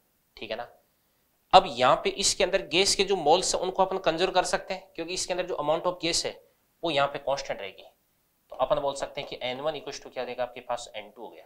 तो P V equal to N R T से P one V one upon ये देगा आपके पास T one equal to P two V two upon ये आपके पास टी टू आ गया। ठीक है ना? अब यहाँ पे जो प्रेशर है, वो कितना देगा बताओ पी नॉट प्लस क्या देगा बताओ रो जी एच तो प्लस क्या देगा आपके पास? रो जी एच ठीक है ना? और इंटू वॉल्यूम कितना देगा? तो four by three pi R cube तो इसको अपन बोल सकते हैं, क्या बोल देंगे बताओ? R one cube upon temperature कितना देगा बताओ? टी वन बराबर. जब यहाँ पे पहुंचेगा तो डेप तो यहाँ पे ज़ीरो होगी एटमोस्फेरिक प्रेशर बन जाएगा। तो इसको अपन बोलेंगे पी नॉट इंटू इसको अपन बोलेंगे R two cube upon temperature क्या देगा आपके पास? टी टू देगा। अब इन सब की वैल्यू अपन पुट कर देते हैं। तो पी नॉट एटमोस्फेरिक प्रेशर कितना होता है? टेन टू दावर फाइव होता है। तो ten to the power five और प्लस रो कितना है पानी का? Ten to the power three G ten हो गया। Ten to the power four और एच कितना देगा आपके पास? ट्वेल्व ठीक है ना? तो इसको अपन बोल सकते हैं वन पॉइंट टू इंटू क्या देगा आपके पास? Ten to the power five हो गया। ठीक है ना? ये चीज़ होगी। ये तो प्रेशर हो गया। इसके बाद में पहले इसकी जो रेडियस है वो कितना टू एम mm, तो ये बन जाएगा आपके पास टू का क्यूब हो गया अपॉन पहले जो टेम्परेचर है, वो वहाँ पे कितना था? एट डिग्री सेंटीग्रेड हो जाएगा, ठीक है ना? तो कितना देगा बताओ? ये हो जाएगा टू सेवेंटी थ्री और प्लस एट कर देंगे तो ये बन जाएगा आपके पास टू एटी वन हो गया। इसके बाद में बराबर है। अब यहाँ पे जो प्रेशर है, वो कितना देगा एटमोस्फेरिक प्रेशर हो गया। तो एटमोस्फेरिक प्रेशर कितना होता है? Ten to the power five होता है, ठीक है ना? इंटू ये आपके पास है क्या देगा बताओ? आर टू क्यूब हो गया, और डिवाइडेड बाई टेम्परेचर कितना देगा सिक्सटीन हो गया। तो टू सेवेंटी थ्री प्लस कितना देगा सिक्सटीन। तो कितना टू एटी नाइन हो जाएगा। ये देगा आपके पास एटी नाइन अब ये जो कैलकुलेशन है, इसके अंदर सब कुछ अपने को गिवन है, सब कुछ गिवन है। केवल जो आर टू है ना, वो अपने को पूछ रखा है। तो यहाँ से अगर आप सोल्व कर दोगे ना तो सोल्व करने पर आर टू इक्व आ जाएगा आपके पास है टू पॉइंट एम ठीक है ना? तो टू पॉइंट एम यानी यहाँ पर आपका बी ऑप्शन करेक्ट चला जाएगा। ठीक है? चलिए। इसके बाद में अगला क्वेश्चन अपन देखते हैं, देखो क्या करें। अगला क्वेश्चन कह रहा है कि two soap bubbles of radius A and B coalesce to form a single bubble of radius C under isothermal conditions. If the external pressure is Pa then the surface tension T of the soap bubble is. तो external pressure कितना दे रखा है आपको? P दे रखा है, ठीक है ना? तो अब इनको अपन क्या करते हैं यहाँ पे? मिक्सअप करते हैं, भाई इनको अपन यहाँ पे मिलाते हैं। तो सुनो भी ध्यान से देखना, देखो। मिलाएँगे तो अपन ऐसे देख सकते हैं कि पहला जो बबल है, उसके अंदर जैसे नंबर ऑफ़ मोल्स और प्लस क्या देगा आपके पास है, दूसरे बबल के अंदर नंबर ऑफ़ मॉल्स ठीक है ना? और इक्व टू क्या देगा आपके पास, में बताओ ये देगा आपके पास एन हो देगा। नंबर ऑफ़ मॉल्स को अपन यहाँ पे कॉन्स्टेंट कर देंगे। अब ये कह रहा है कि आइसोथर्मल कंडीशंस के अंदर मिलते हैं ये। तो एन इक्व टू कितना था पीवी अपन आर टी होता है टी तो वैसे भी कॉन्स्टेंट है। तो अपन लिख सकते हैं इस प्रकार से पी वन या ऐसे लिख देते हैं अपन। ऐसे लिख देते हैं अपन कि एन इक्व टू क्या देगा आपके पास एन वन प्लस क्या देगा आपके पास एन टू और एन इक्व टू क्या देगा बताओ PV equal to P one V one और प्लस क्या देगा बताओ पी टू वी टू हो गया, ठीक है ना? ये चीज़ होगी ये कह रहा है कि ए और बी है और जो बबल बनता है बाद में, उसकी रेडियस कितनी देगी आपके पास? है सी होगी। तो एक्सटर्नल प्रेशर कितना देगा आपके पास? पी हो गया। ठीक है? और प्लस एक्सिस प्रेशर कितना देगा तो फोर्टी अपॉन आर होता है। तो फोर्टी अपॉन सी हो गया। ठीक है ना? और इंटू वी कितना देगा तो four by three pi C cube हो गया। तो इसको अपन बोलेंगे सी क्यूब इक्व टू ये बन जाएगा पी वन पहले बबल के अंदर का प्रेशर पी ए प्लस क्या देगा आपके पास फोर्टी अपॉन क्या देगा आपके पास ए इंटू क्या देगा तो ए क्यूब वॉल्यूम और प्लस इसको अपन बोलेंगे पी बी प्लस क्या देगा फोर टी बाई सी ठीक है ना? इंटू क्या देगा आपके पास में? फोर्टी अपॉन सी नहीं बी तो फोर्टी अपॉन बी और ये बन जाएगा आपके पास में बी क्यूब आ गया बी अब इसके बाद इसको अपन सोल्व करते हैं। तो सोल्व करेंगे तो अपने को क्या कैलकुलेट करना है यहाँ पे? यहाँ पे अपने को सरफेस टेंशन है, वो कैलकुलेट करना है। तो सरफेस टेंशन कैलकुलेट करेंगे। तो क्या बन जाएगा बताओ यहाँ पे? यहाँ पे बन जाएगा आपके पास में सी क्यूब मतलब P A into C cube P A into A cube तो एक काम करते हैं, यहाँ पर अपन पी ए को कॉमन ले लेते हैं। तो पी ए को अगर कॉमन ले लिया तो इधर की तरफ़ क्या देगा आपके पास है सी क्यूब माइनस इसको अपन बोलेंगे ए क्यूब और माइनस क्या देगा आपके पास में? बी क्यूब हो गया। इसके बाद हम बराबर। अब इसको इसके अंदर मल्टीप्लाई कर दोगे तो क्या बन जाएगा आपके पास बताओ? Forty into C square forty into A square forty into B square तो यहाँ से फोर टी को अपन कॉमन ले लेते हैं तो फोर टी को कॉमन ले लिया। तो यह देगा ए स्क्वायर प्लस क्या देगा आपके पास में? बी स्क्वायर और माइनस क्या देगा आपके पास में? सी स्क्वायर हो जाएगा। ठीक है ना? अब यहाँ पर आपको सरफेस टेंशन कैलकुलेट करना है। तो सरफेस टेंशन क्या देगा आपके पास? है टी बराबर। तो इसको पूरे को इसके अपॉन में ले जाएँगे तो पी अपॉन फोर तो ये देगा आपके पास पी ए अपॉन क्या देगा आपके पास? फोर आ गया। और ये देगा आपके पास है सी क्यूब माइनस क्या देगा आपके पास? ए क्यूब माइनस क्या देगा? बी क्यूब और upon A square plus B square minus C square ठीक है ना? तो देख लो कौन सा आंसर जा रहा है। तो टी कुछ टू कितना देगा? पी ए बाई फोर तो P A by four C cube minus A cube minus B cube A square plus B square minus C square तो यहाँ पे आपका ऑप्शन ए करेक्ट है भाई। ऑप्शन ए ही आपका करेक्ट हो जाएगा। ठीक है ना? देखिए बच्चों, ये वाला क्वेश्चन क्या कर? रहा है an open end organ pipe 30 centimetre length and a closed end organ pipe 23 centimeter length. Both of equal diameter are each sounding their first overtone and both are in unison at 1100 hertz. The speed of sound in air is estimated to be nearly. सबसे पहले अपन बात करते हैं open organ pipe की बात करते हैं। तो ओपन ऑर्गन पाइप की जो फ़र्स्ट फ्रीक्वेंसी है, ठीक है ना? फ़र्स्ट केस के अंदर क्या होता है आपके पास में? लेमडा बाई टू और फ़र्स्ट ओवरटोन है। भाई फंडामेंटल फ्रीक्वेंसी में लेमडा बाई टू और फ़र्स्ट ओवरटोन में कितना देगा आपके पास? Two lambda by two equal to कितना देगा आपके पास? एल और प्लस इसके दो ओपन एंड है, ठीक है ना? तो प्लस क्या देगा आपके पास? टू ही हो जाएगा, ठीक है ना? ये चीज़ होगी। इसके बाद अपन बात करते हैं कि इसकी क्लोज ऑर्गन पाइप की बात करते हैं। या यहाँ से अपन लिख सकते हैं कि लेमडा लिख दो। लेमडा इक्वल टू इसकी लेंथ आपको दे रखी है। कितनी दे रखी है आपको बताओ? थर्टी और प्लस क्या देगा बताओ? टू ही हो गया। इक्वेशन नंबर वन बोल दो इसको आप। और इसके बाद अपन बात करते हैं क्लोज ऑर्गन पाइप की बात करते हैं।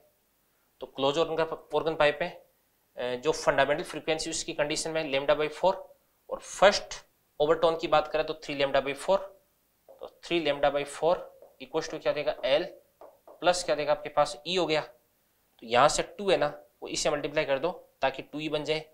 तो ये बन जाएगा आपके पास थ्री लेमडा बाई टू बराबर कितना हो जाएगा बताओ। इसको अपन बोलेंगे ट्वेल्व प्लस क्या देगा आपके पास टू ई हो गया। ठीक है ना? और थ्री लेमडा बाई टू बराबर कितना देगा टू एल इसकी जो लेंथ है वो कितनी दे रखी है आपको? ट्वेंटी थ्री तो इंटू टू कितना देगा? फोर्टी सिक्स प्लस क्या देगा आपके पास? टू ई हो गया। इक्वेशन नंबर टू बन गया। इसके बाद सुनो। इक्वेशन टू में से अपन इक्वेशन वन को माइनस कर देते हैं। तो चलो टू माइनस अपन ने वन कर दिया। तो three lambda by two minus lambda equal to कितना देगा? लेमडा बाई टू और बराबर कितना देगा? टू ई से टू कैंसिल आउट हो जाएगा forty six minus thirty sixteen तो यहाँ से आपके पास लेमडा बराबर कितना देगा बताओ? थर्टी टू ठीक है ना? मीटर आ गया। और v कुछ टू कितना होता है आपके पास? लेमडा इंटू क्या देगा? बताओ f आ गया। ठीक है ना? तो तो v बराबर कितना होता है n into lambda lambda into F हो गया। तो बराबर कितना देगा? थर्टी टू सॉरी सेंटीमीटर ये आपके पास है सेंटीमीटर आ जाएगा ठीक है ना? और अब यहाँ से आपके पास जो लेमडा है, वो कितना देगा बताओ थर्टी टू यानी पॉइंट थ्री टू इंटू ये क्या बन जाएगा आपके पास में? फ्रीक्वेंसी कितनी देगी बताओ ग्यारह सौ होगी। और इसको अगर अपन कैलकुलेट कर देते हैं तो ये आपके पास आ जाएगा कितना? Three five two metre per second तीन सौ बावन metre per second. Option D यहाँ पर आपका करेक्ट चला देगा अभी। ठीक है?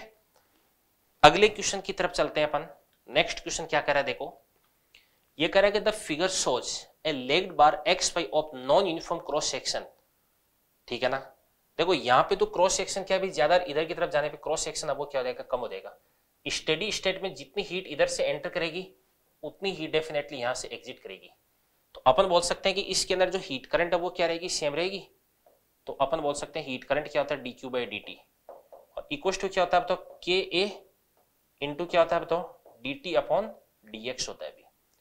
ये क्या देगा बताओ? सेम के तो वैसे ही आपका कांस्टेंट हो जाएगा। ठीक है ना? तो अपन क्या बोल सकते हैं यहाँ पे? ए इंटू क्या देगा बताओ? D T upon D X equal to क्या देगा? कांस्टेंट हो गया। इधर से इधर की तरफ़ जा रहे हो तो definitely area of cross section अब वो क्या हो रहा है बताओ? कम हो रहा है।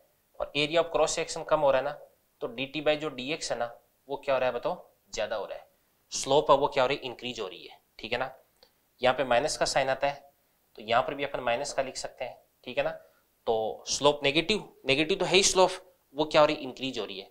तो इंक्रीजिंग स्लोप का ये वाला ग्राफ बन जाएगा। तो बी ऑप्शन यहाँ पर आपका करेक्ट आ जाएगा भी ठीक है ना?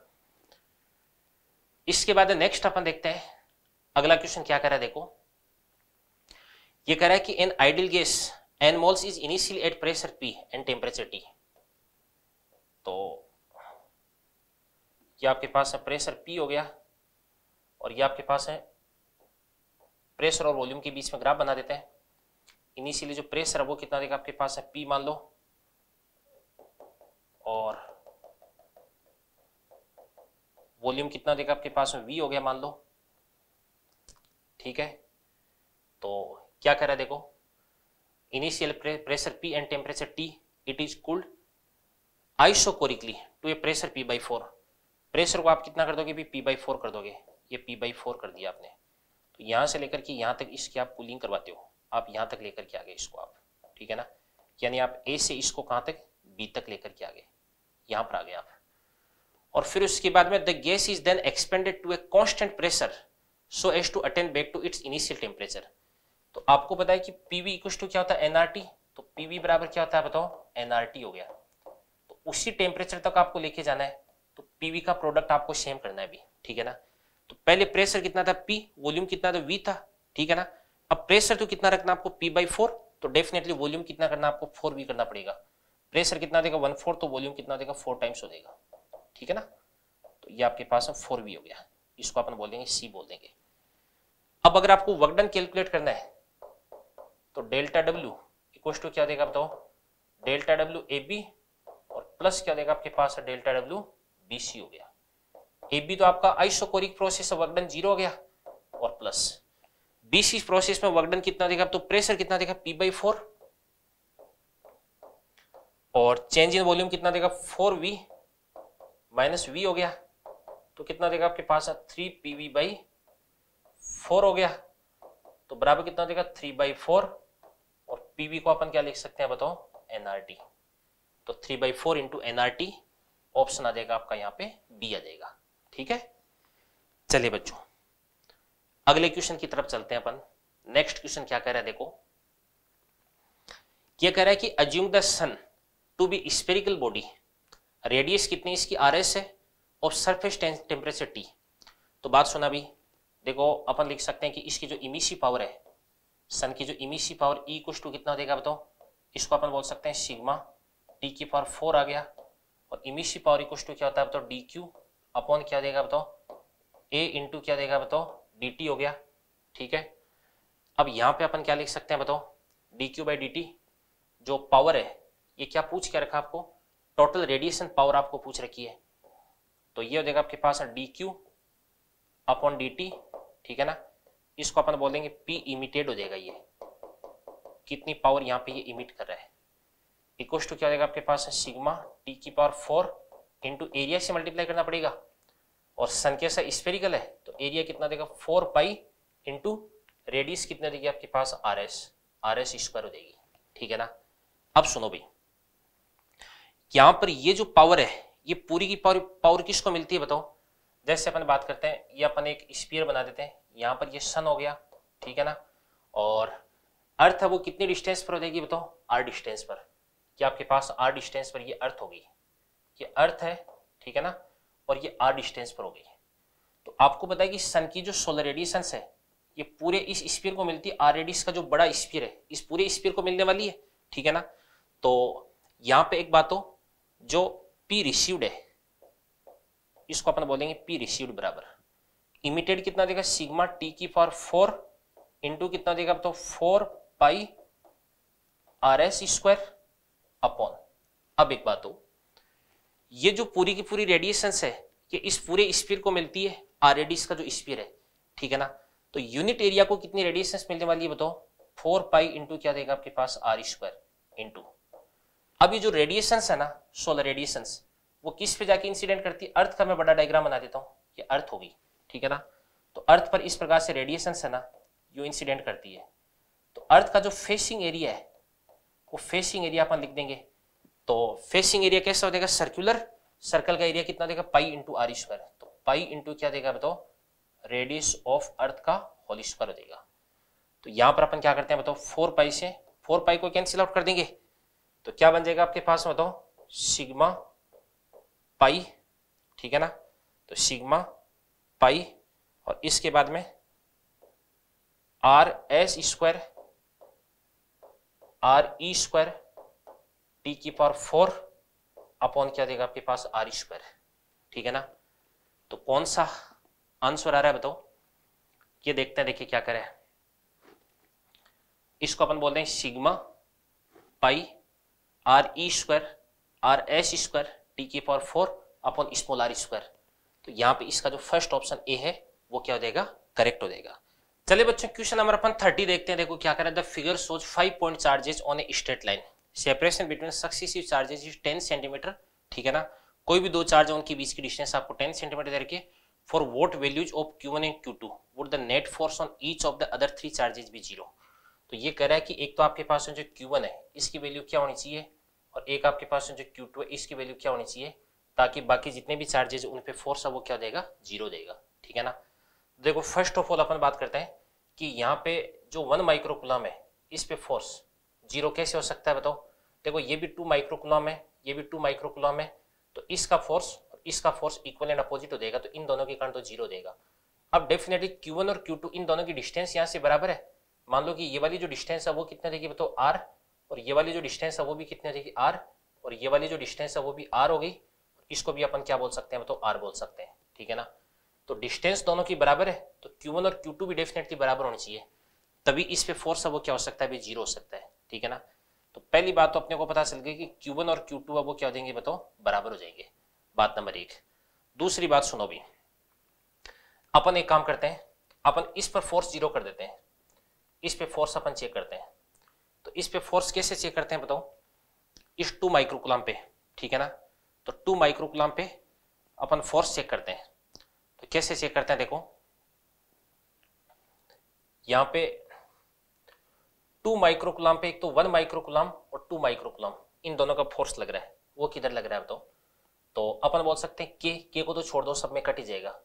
तो क्यू वन कितना देगा आपके पास? टू और इस वन का कितना देगा? Two into one Q one Q two upon R square R R कितना देगा तो टू आर टू आर का स्क्वायर कितना देगा आपके पास फोर आर स्क्वायर प्लस इस टू माइक्रोकुलाम का ये जो टू है, ये भी फोर्स लगा रहा है तो टू इंटू क्या देगा आपके पास टू अपॉन डिस्टेंस कितना देगी? फोर आर तो फोर आर का स्क्वायर कितना देगा? तो सिक्सटीन आर स्क्वायर देगा इक्व टू ठीक है?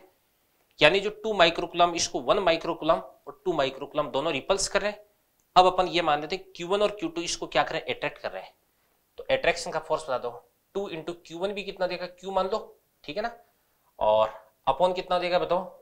आर स्क्वायर ओके इस पे इसका फोर्स और इस पे इसका फोर्स कितना देगा बताओ? Plus two into Q two भी कितना देगा बताओ? Q upon R square distance कितना देगी बताओ? क्यू टू की डिस्टेंस थ्री आर और थ्री आर का स्क्वायर कितना देगा बताओ? नाइन आर स्क्वायर देगा, ठीक है ना? तो अपन टू अपॉन आर स्क्वायर को कॉमन लेके काट देंगे। तो ये बन जाएगा आपके पास वन बाई फोर और और प्लस क्या देगा बताओ? भाई टू को भी काट दिया अपन ने और आर स्क्वायर को भी काट दिया। तो टू अपॉन आर स्क्वायर गया तो टू बाई सिक्सटीन प्लस क्या देगा आपके पास? वन बाई एट आ गया। और इक्व टू क्या देगा बताओ? Two upon R square Q आ गया और plus two upon R square cut गया। तो ऊपर क्या देगा आपके पास? क्यू अपॉन नाइन आ गया। तो क्यू अपॉन नाइन आ गया। तो इसको अपन क्या बोल सकते हैं? One by four plus one by eight equal to कितना देगा तो? थ्री बाई एट आ गया। ठीक है ना? तो three by eight equals to Q plus Q by nine equal to equal to कितना देगा बताओ Q plus Q by nine equal to देगा आपके पास टेन। क्यू डिवाइडेड बाई क्या देगा आपके पास नाइन आ गया। तो यहाँ से आपके पास में जो क्यू है तो क्यू इक्व टू कितना देगा बताओ माइन ट्वेंटी सेवन अपॉन कितना देगा आपके पास? एटी माइक्रोकुलाम आ गया। डेफिनेटली माइनस का होगा, क्योंकि अपने फोर्स को पहले Q1 और Q2 का फोर्स है, वो अट्रैक्शन अपने कंसिडर किया है।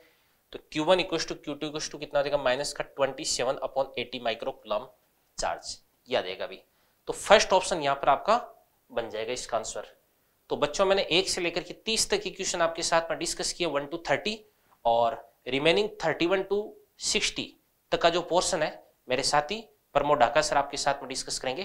Thank you very much all the best hello everyone myself Pramod Dhaka team physics CLC Sikar.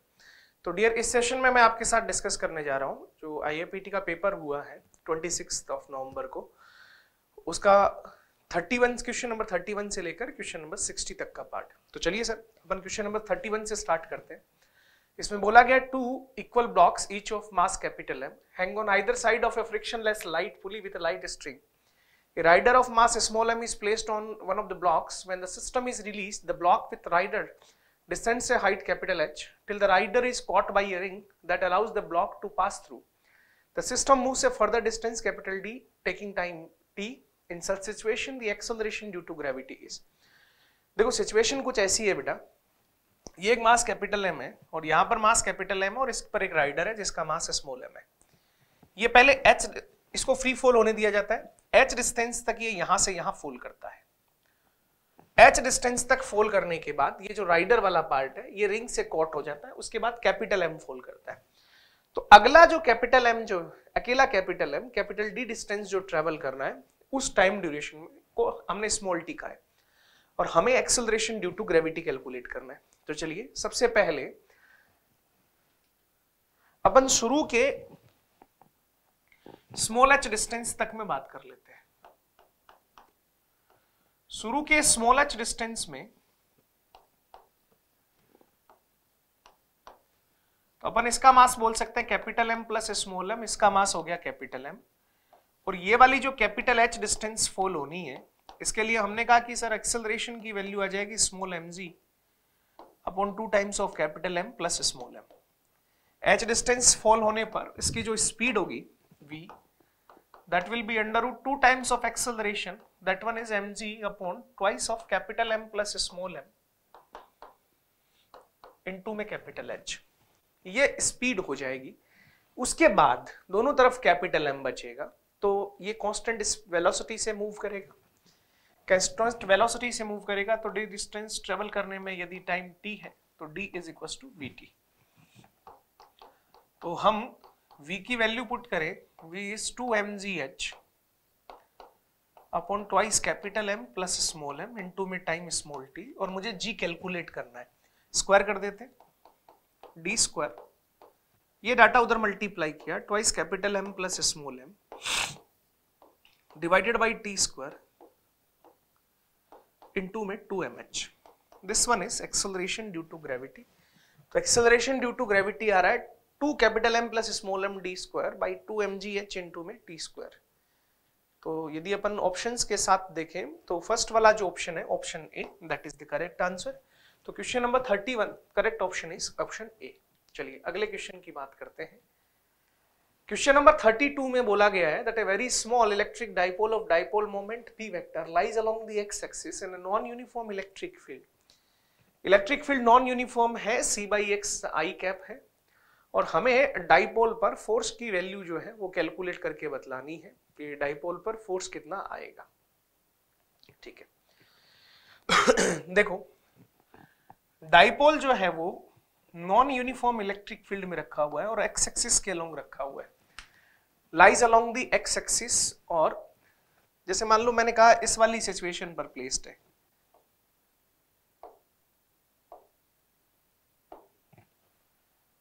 इस सिचुएशन में, यहाँ पर रखा हमने। और इसका डाइपोल मोमेंट जो है, वो dipole moment P I cap है। ठीक है?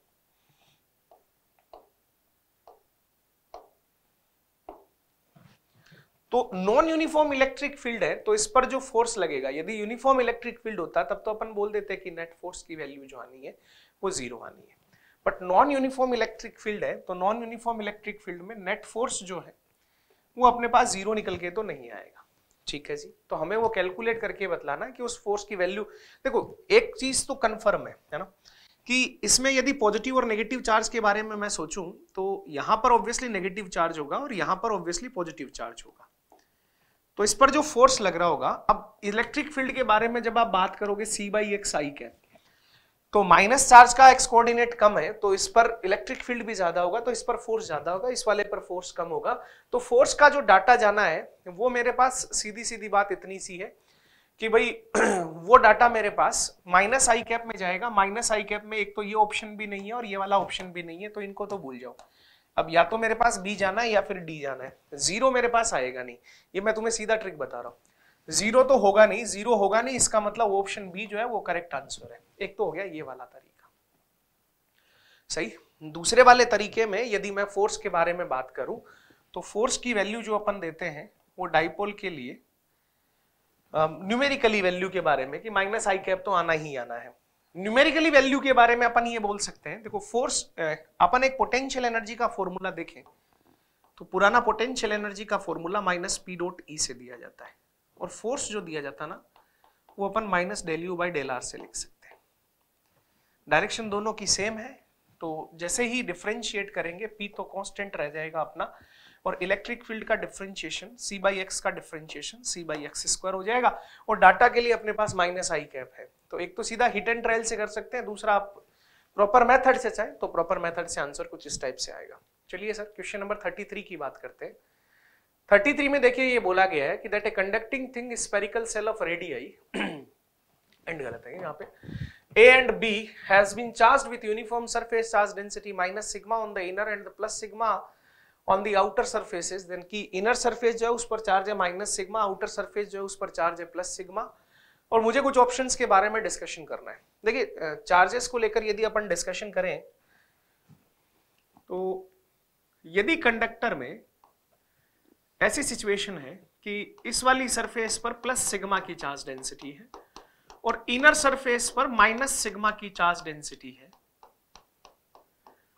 तो ये केवल और केवल तभी पॉसिबल है जब कंडक्टर के इनसाइड कैविटी में कोई ना कोई चार्ज प्लेस किया जाए। हमने कहा, मान लो कोई चार्ज रख दिया गया क्यू और ये दोनों एक दूसरे को बैलेंस करेंगे तो क्यू की वैल्यू जो होगी मतलब inside the cavity that charge is sigma into four pi A square तो इसके अकॉर्डिंग यदि मैं बात करता हूँ तो एक option there is net charge electric net electric charge in the cavity and equal to this नहीं, इसके इक्वल नहीं आ रहा that is four pi sigma into A square तो फोर्थ ऑप्शन तो गलत हो गया।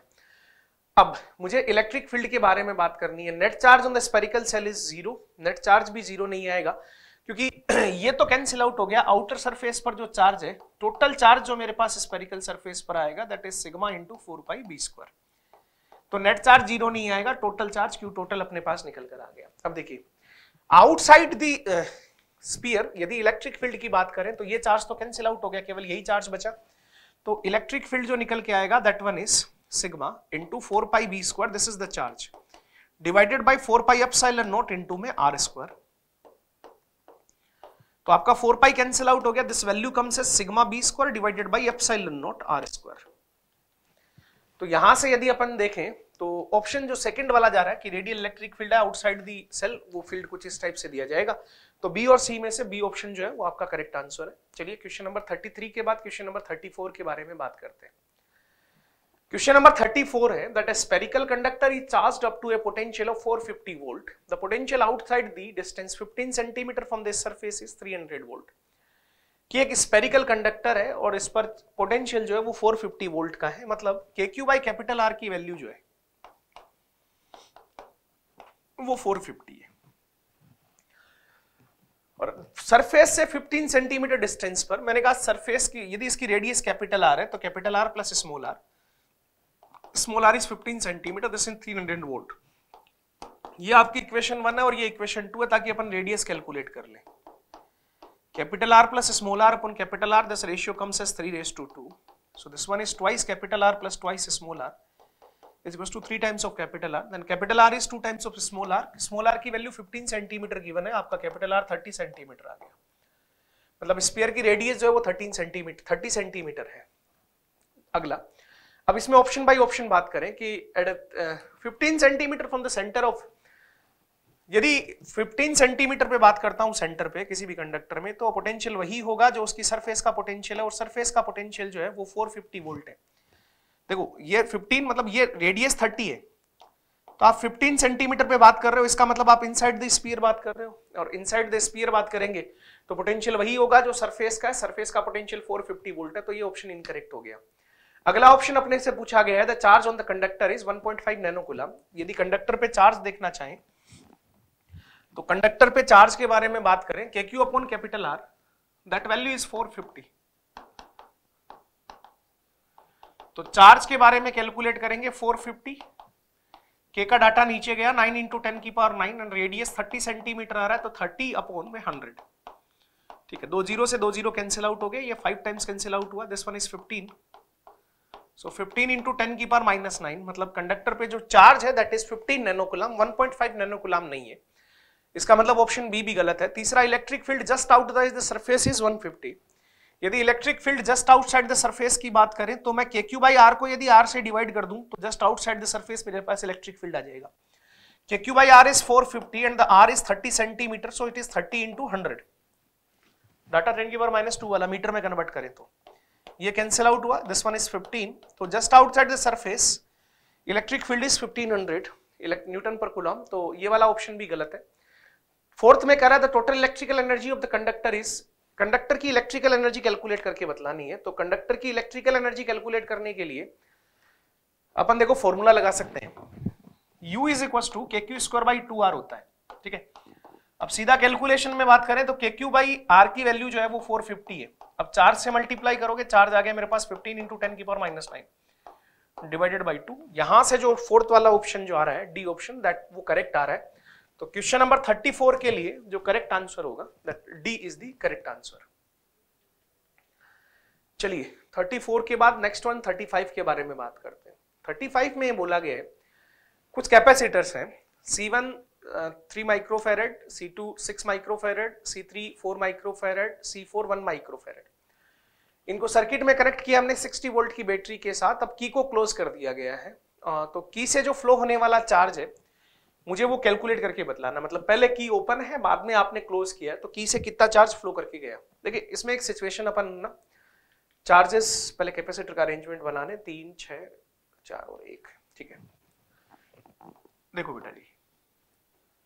यहाँ पर मेरे पास थ्री माइक्रोफेरेड है यहाँ पर सिक्स माइक्रोफेरेड है। यहाँ पर फोर माइक्रोफेरेड है यहाँ पर वन माइक्रोफेरेड है। 3 microfarad, 6 microfarad, 4 microfarad and 1 microfarad. यदि मैं अभी स्टार्टिंग में चार्ज कैलकुलेट करता हूँ तो पहले 60 वोल्ट आपने कनेक्ट कर रखा है ना बैटरी जो है वो 60 वोल्ट की बैटरी है। अब 3 और सिक्स का इक्विवेलेंट यदि मैं कैलकुलेट करता हूँ तो वो टू आता है two into sixty that is 120 तो इस पर चार्जेस जो होंगे,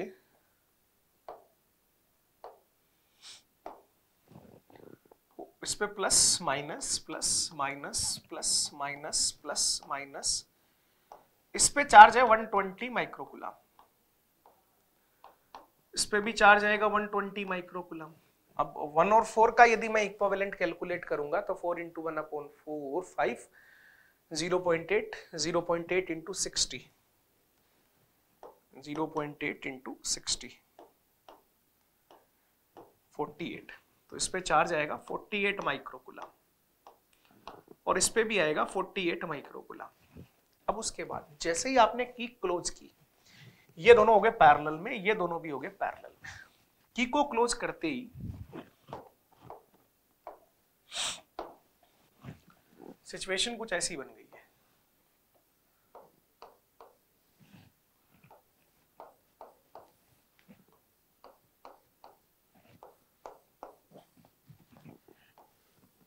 ये 60 वोल्ट लगा। 60 volt.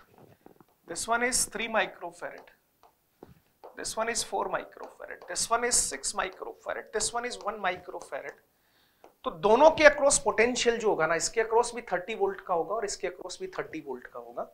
तो यदि मैं चार्जेस को लेकर बात करूँ तो charges plus minus plus minus plus minus plus minus इस पे चार्ज होगा 90 माइक्रोकुलम इस पे चार्ज होगा 180 माइक्रोकुलम इस पे चार्ज होगा 120 माइक्रोकुलम सब पे 30 वोल्ट भाई सेवन और सेवन हाफ़ हाफ़ डिवाइड होगा।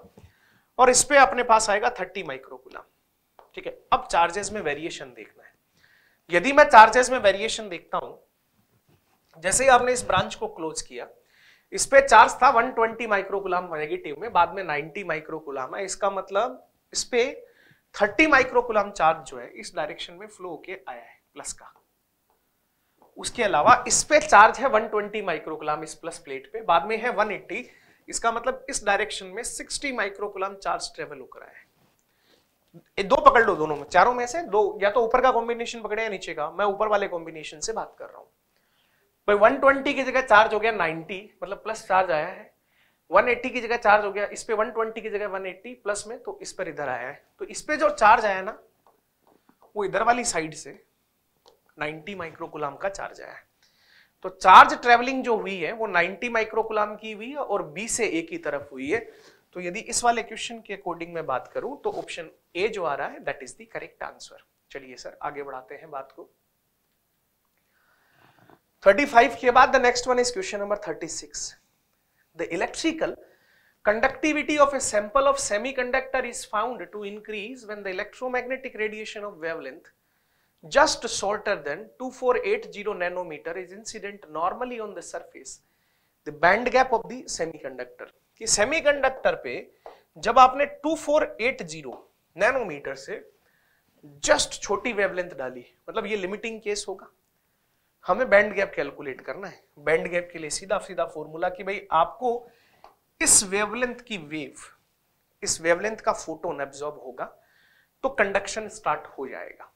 तो कंडक्शन में मतलब इंक्रीमेंट होगा। मतलब इलेक्ट्रॉन जो है, वो वैलेंस इस वेवलेंथ के फोटोन या इससे कम वेवलेंथ के फोटोन को एब्जॉर्ब करके वैलेंस बैंड से कंडक्शन बैंड में मूव कर रहे हैं। तो इस सिचुएशन में E is equals to, that one is hc by lambda.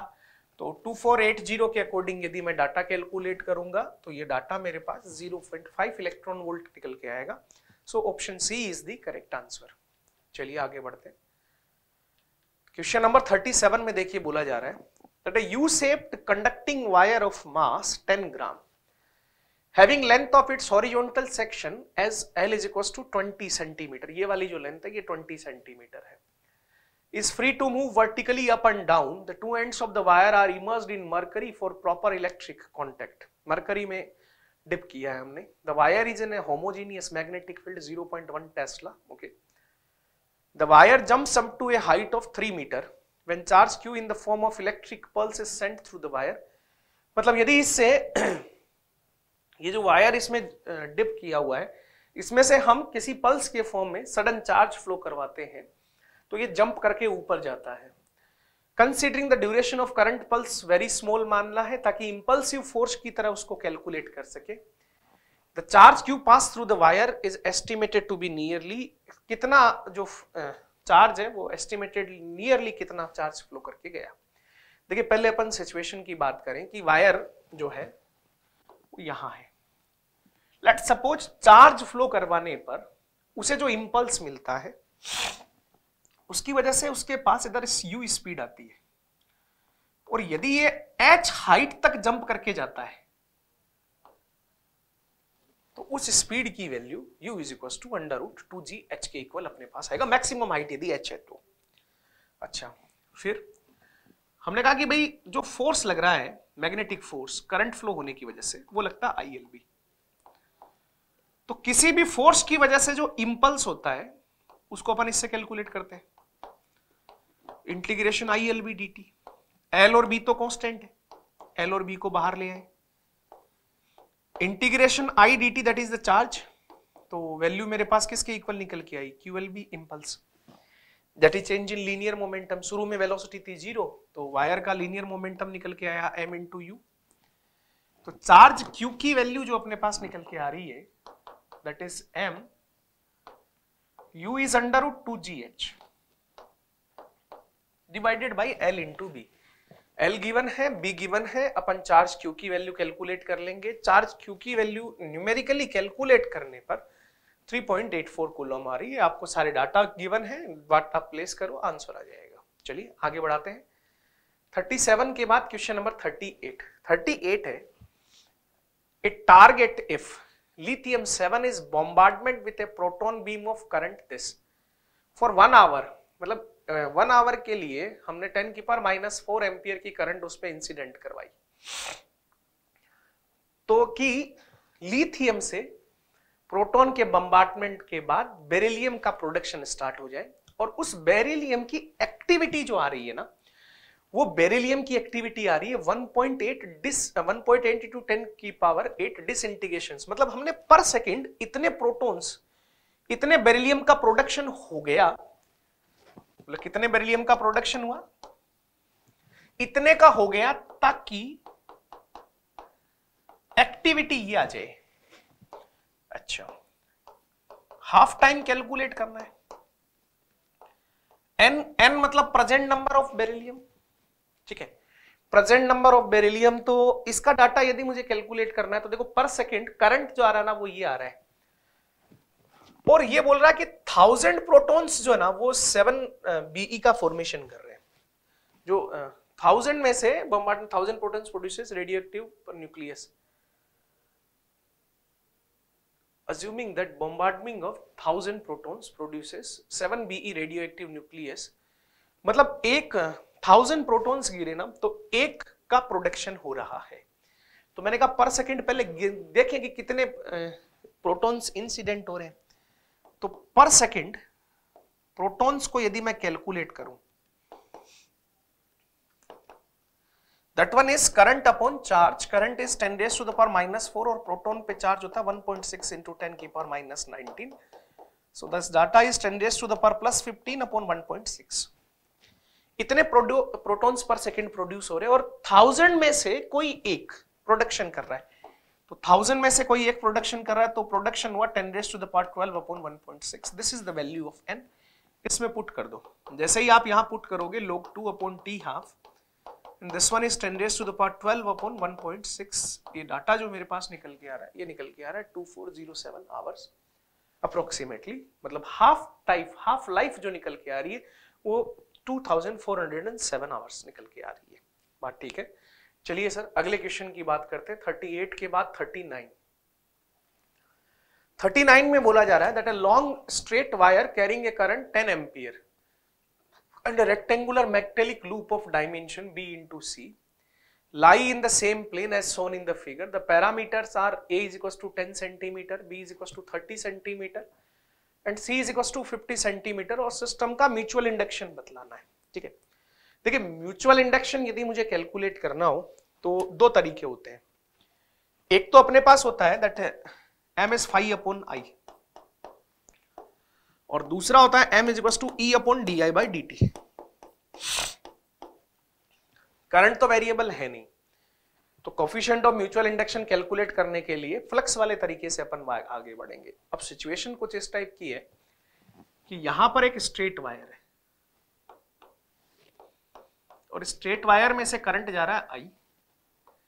यहाँ पर एक रेक्टेंगुलर वायर मैंने वायर फ्रेम मैंने रख दिया, ये डिस्टेंस है ए इस वायर फ्रेम में ये डिस्टेंस है बी और ये वाली डिस्टेंस है सी तो मैंने कहा सबसे पहले फ्लक्स कैलकुलेट करते हैं। फ्लक्स कैलकुलेट करते हैं तो वायर फ्रेम जो है ना वायर से वेरिएबल डिस्टेंस पर है तो मैं यहाँ से आर डिस्टेंस पर।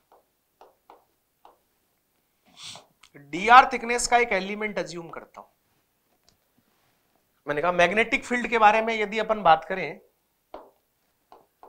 तो इस एलिमेंट पे मैग्नेटिक फ़ील्ड होगा mu naught I upon two pi R तो एलिमेंट का फ्लक्स होगा B dot D A that one is mu naught I upon two pi R into element का area that one is C ये height तो सी है, ये thickness D R है तो C into D R this is D phi तो यदि मैं टोटल फ्लक्स की बात करूँगा, that one is integration of d phi and that one is mu naught ic upon 2 pi dr upon r. अब देखो फ्रेम की वायर से मिनिमम डिस्टेंस है a और मैक्सिमम इस वाले पार्ट की है तो मैक्सिमम डिस्टेंस कितनी? A प्लस बी तो अपन इसमें लिमिट लगा देते हैं। A से लेकर a प्लस बी ये आ गया mu naught I C upon two pi log a plus B by A ये फ्लक्स आया तो coefficient of mutual inductance that one is five upon I this data is mu naught C upon two pi into में log one plus B by A अब आपको सारे data given है। Mu naught is four pi into ten की power minus seven C is fifty centimetre बोले तो one by two divided by two pi तो ये फोर पाई तो कैंसिल आउट हो गया। और ये data log one plus B by A, one plus B by A B is thirty, A is ten तो this one is log four log four जो होगा, उसको अपन सोल्व करके लिख सकते हैं। Log four is two into point six nine three तो उसके बेसिस पर यदि मैं इसको सोल्व करूँगा तो इसका आंसर जो निकल के आएगा that C so 139 nano henry approximately 139 nano henry is the correct answer चलिए सर आगे बढ़ाते हैं बात को। 39 के बाद next one is question number 40 देखिए 40 में बोला जा रहा है, the impedance of a given series LCR circuit fed with alternating current is same for two frequencies F one and F two और रेजोनेंस फ्रीक्वेंसी जो है मतलब ये बोल रहा है कि दो फ्रीक्वेंसीज हैं एलसीआर सर्किट में, जिनके लिए इंपिडेंस बराबर आ रहा है। और जनरली ऐसा हाफ़ पावर फ्रीक्वेंसीज पर होता है कि इंपिडेंस बराबर आता है। रेजोनेंस फ्रीक्वेंसी पूछिए। तो हाफ़ पावर फ्रीक्वेंसी के केस में अपन ये बोल सकते हैं, भाई देखो, ये इंपिडेंस ये होता है R square plus omega L minus one upon omega C का स्क्वायर और ये आपके पास जेड स्क्वायर के इक्वल आ गया। और ये जो जेड आता है, ये हाफ़ पावर फ्रीक्वेंसीज पर टू आर स्क्वायर के इक्वल आता है। जैसे ही सोल्व करेंगे omega L minus one upon omega C is R square तो फ़र्स्ट वाले के लिए यदि मैं प्लस आर लिखता हूँ तो सेकंड वाले के लिए इस डाटा को माइनस आर लिख देंगे। सिंपल। अब उसके बाद, हमने कहा भी देखो, ये दोनों डाटा इसका मतलब बराबर है, प्लस और माइनस के साथ। बोले तो ओमेगा वन एल माइनस में one upon omega one C is equal to minus of omega two L plus में one upon omega two C. इसको इधर ले आते हैं। Omega one plus omega two into में L is equal to one upon omega one plus one upon omega two, that one is omega two plus omega one upon omega one, omega two into में one upon C. ये cancel out हो गया। Omega one, omega two, that one is L C is equal to one upon omega one, omega two. This one is omega r 1 upon omega r square. 1 upon omega r square resonance frequency वाली angular frequency तो angular frequency में relation ये आ रहा है that omega R is equal to under root of omega one omega two तो resonance frequency में relation निकल के आएगा। Under root F one F two तो according to this question according to question number forty C is the correct answer भाई, हमसे ये बोला गया कि दो ऐसी फ्रीक्वेंसीज हैं जिन पर इंपिडेंस बराबर है। हमने कहा रेजोनेंस फ्रीक्वेंसी वाले से कर लेते हैं हाफ़ पावर फ्रीक्वेंसीज वाले से कर लेते हैं। और वहाँ से डाटा सोल्व किया तो रेजोनेंस फ्रीक्वेंसी की वैल्यू आ रही है under root F one F two चलिए आगे बढ़ाते हैं। फोर्टी के बाद the next one is question number forty one देखिए फोर्टी वन क्वेश्चन जो है, इसमें बोला गया that a lawn roller is a solid cylinder of mass capital M and radius capital R As shown in the figure, it is pulled at its center by a horizontal force capital M and rolls without slipping on a horizontal surface. Horizontal surface पर rolls without slip कर रहा है तो मुझे ये बतलाना है कि cylinder का एक्सेलरेशन कितना है सिलेंडर पे फ्रिक्शनल फोर्स कितना है और minimum coefficient of friction required कितना है स्लिपिंग रोकने के लिए ठीक है देखो बेटा पहले क्वेश्चन पे डिस्कशन करते हैं कि ये एक सॉलिड सिलेंडर है लोन रोलर है और इस पे आपने सेंटर पे फोर्स कैपिटल एफ़ लगाया है, ये प्योर रोलिंग कर रहा है। तो एक तो इसका एक्सेलरेशन बतलाना है frictional force coefficient of friction बतलाना है। दो चीज़ें, ठीक है। और फ्रिक्शन फोर्स पे भी कैलकुलेशन है सेक बी ऑप्शन में, ठीक है। मैंने कहा, देखो, इधर कैपिटल एफ़ लगा और सिलेंडर पे हमने ये मान लिया कि फ्रिक्शनल फोर्स जो लग रहा है, वो बैकवर्ड डायरेक्शन में लग रहा है। प्योर रोलिंग के केस में अपन फॉरवर्ड और बैकवर्ड दोनों लेकर सोल्व कर सकते हैं। सेम डायरेक्शन होगी। जो आपने मानी है वही होगी तो प्लस में आएगा। अपोजिट होगी तो डाटा माइनस में आएगा। अब देखो, इस पर दो फोर्स लग रहे हैं। तो आप बोलेंगे capital F minus small F is equal to M A this is equation number one दूसरा, यदि आप टॉर्क की बात करेंगे तो केवल फ्रिक्शन का टॉर्क लगेगा। That F R is equal to I alpha F R is equal to I के बारे में बात करें। सिलेंडर है तो this one is M R square by two and alpha जो अपने पास निकल के आएगा that is A by R ये कैंसिल आउट हो गया। एफ़ आया एम ए बाई टू तो स्मॉल एफ़ अपने पास निकल कर आ गया M A by two this is equation number two एक काम करते हैं, दोनों को ऐड कर दो one plus two small F तो कैंसिल आउट हो गया। कैपिटल एफ़ निकल के आ गया three M A divided by two यहाँ से एक्सेलरेशन के लिए सोल्व करेंगे तो एक्सेलरेशन आएगा two F by three M तो सेकेंड ऑप्शन तो गलत हो गया। सॉरी फ़र्स्ट ऑप्शन गलत हो गया। सेकेंड पे चर्चा करेंगे। एक्सेलरेशन गलत हो गया। फ्रिक्शनल फोर्स के बारे में यदि मैं बात करूँ तो फ्रिक्शनल फोर्स यहीं से सोल्व कर लेते हैं। That F is two M by two into the acceleration that is two F by three M तो फ्रिक्शनल फोर्स निकल के आया एफ़ बाई थ्री और मेरे यहाँ फ्रिक्शनल फोर्स को छोड़ दिया हुआ तो ये भी गलत है। तीसरा minimum coefficient of friction required slipping रोकने के लिए। तो ये जो फ्रिक्शनल फोर्स है दिस शुड बी ये स्टैटिक होना चाहिए मतलब ये डाटा जो है, ये मेरे पास म्यू एम जी से कम आना चाहिए। फ्रिक्शनल फोर्स है कितना? एफ़ बाई थ्री तो आपका एफ़ बाई थ्री का जो डाटा है that should be less than mu M G तो minimum coefficient of friction required जो होगा that is F by three M G this is the correct answer तो ये वाला जो ऑप्शन है, ये ऑप्शन सी में अपने को गिवन है. This is F by three M G तो क्वेश्चन नंबर 41 के लिए सी ऑप्शन जो आ रहा है that is the correct answer चलिए सर 42 में बात करते हैं. 42 में बोला गया है दैट है hydrogen atom initially at rest एक हाइड्रोजन एटम इनिशियली रेस्ट में है। एक फोटोन एमिट करता है और एक्साइटेड स्टेट से N is equal to five to मतलब एक एक्साइटेड स्टेट में है N is equal to five से और वहाँ पर ग्राउंड स्टेट में मूव करता है। अच्छा मेरे को रिकोयल स्पीड चाहिए एटम की। अप्रोक्सीमेटली रिकोयल स्पीड जो आएगी वो कितनी आएगी? मैं अभी देखो ऐसा है, ये एम एच है बेटा। यदि हाइड्रोजन एटम में इनिशियली रेस्ट में है इलेक्ट्रॉन एक्साइटेड स्टेट में है ग्राउंड स्टेट में आएगा तो ऐसा होगा कि ये बैकवर्ड में रिकॉइल करेगा और इधर फोटोन जाएगा। लीनियर मोमेंटम कंजर्वेशन लगाएँगे। फोटोन का linear momentum H by lambda और हाइड्रोजन एटम का लीनियर मोमेंटम एम वी दोनों को इक्वल पुट करना। लेमडा की value R Z square one by one square minus one by five square. यहाँ से यदि मैं सोल्व करूँगा तो रिकॉयल स्पीड मेरे पास निकल के आएगी twenty four H R divided by 25 M सारे डाटा आपको गिवन है, यदि इस क्वेश्चन को न्यूमेरिकली सोल्व किया जाएगा तो ऑप्शन ए जो आ रहा है, वो करेक्ट आंसर आएगा अपने पास। चलिए 42 के बाद क्वेश्चन नंबर 43 देखिए। 43 में बोला जा रहा है two nuclides A and B are isotopes दो न्यूक्लियाइड्स हैं ए और बी वो दोनों आइसोटॉप्स हैं। आइसोटॉप्स है ना? इसका मतलब दोनों की एटॉमिक मास नंबर सेम होगा। मास नंबर डिफरेंट होगा atomic number sorry atomic number same होगा। दूसरे में बोल रहा था nuclides B and C are isobars तो इनका मास नंबर सेम होगा आइसोबार्स का। All three nuclides A B C are radioactive तीनों रेडियो एक्टिव है और आपको कंक्लूजन देना है। देखिए, यदि ए और बी दोनों के एटॉमिक नंबर सेम है तो ए से बी का कन्वर्जन रेडियो एक्टिविटी के थ्रू पॉसिबल नहीं है। क्योंकि किसी भी रेडियो एक्टिव प्रोसेस में डीके प्रोसेस में दो टाइप के होते हैं। एक तो अल्फ़ा डीके और एक बीटा डीके दोनों में मास एटॉमिक नंबर जो है ना, वो चेंज होगा ही होगा। मास नंबर बीटा डीके में चेंज नहीं होता है।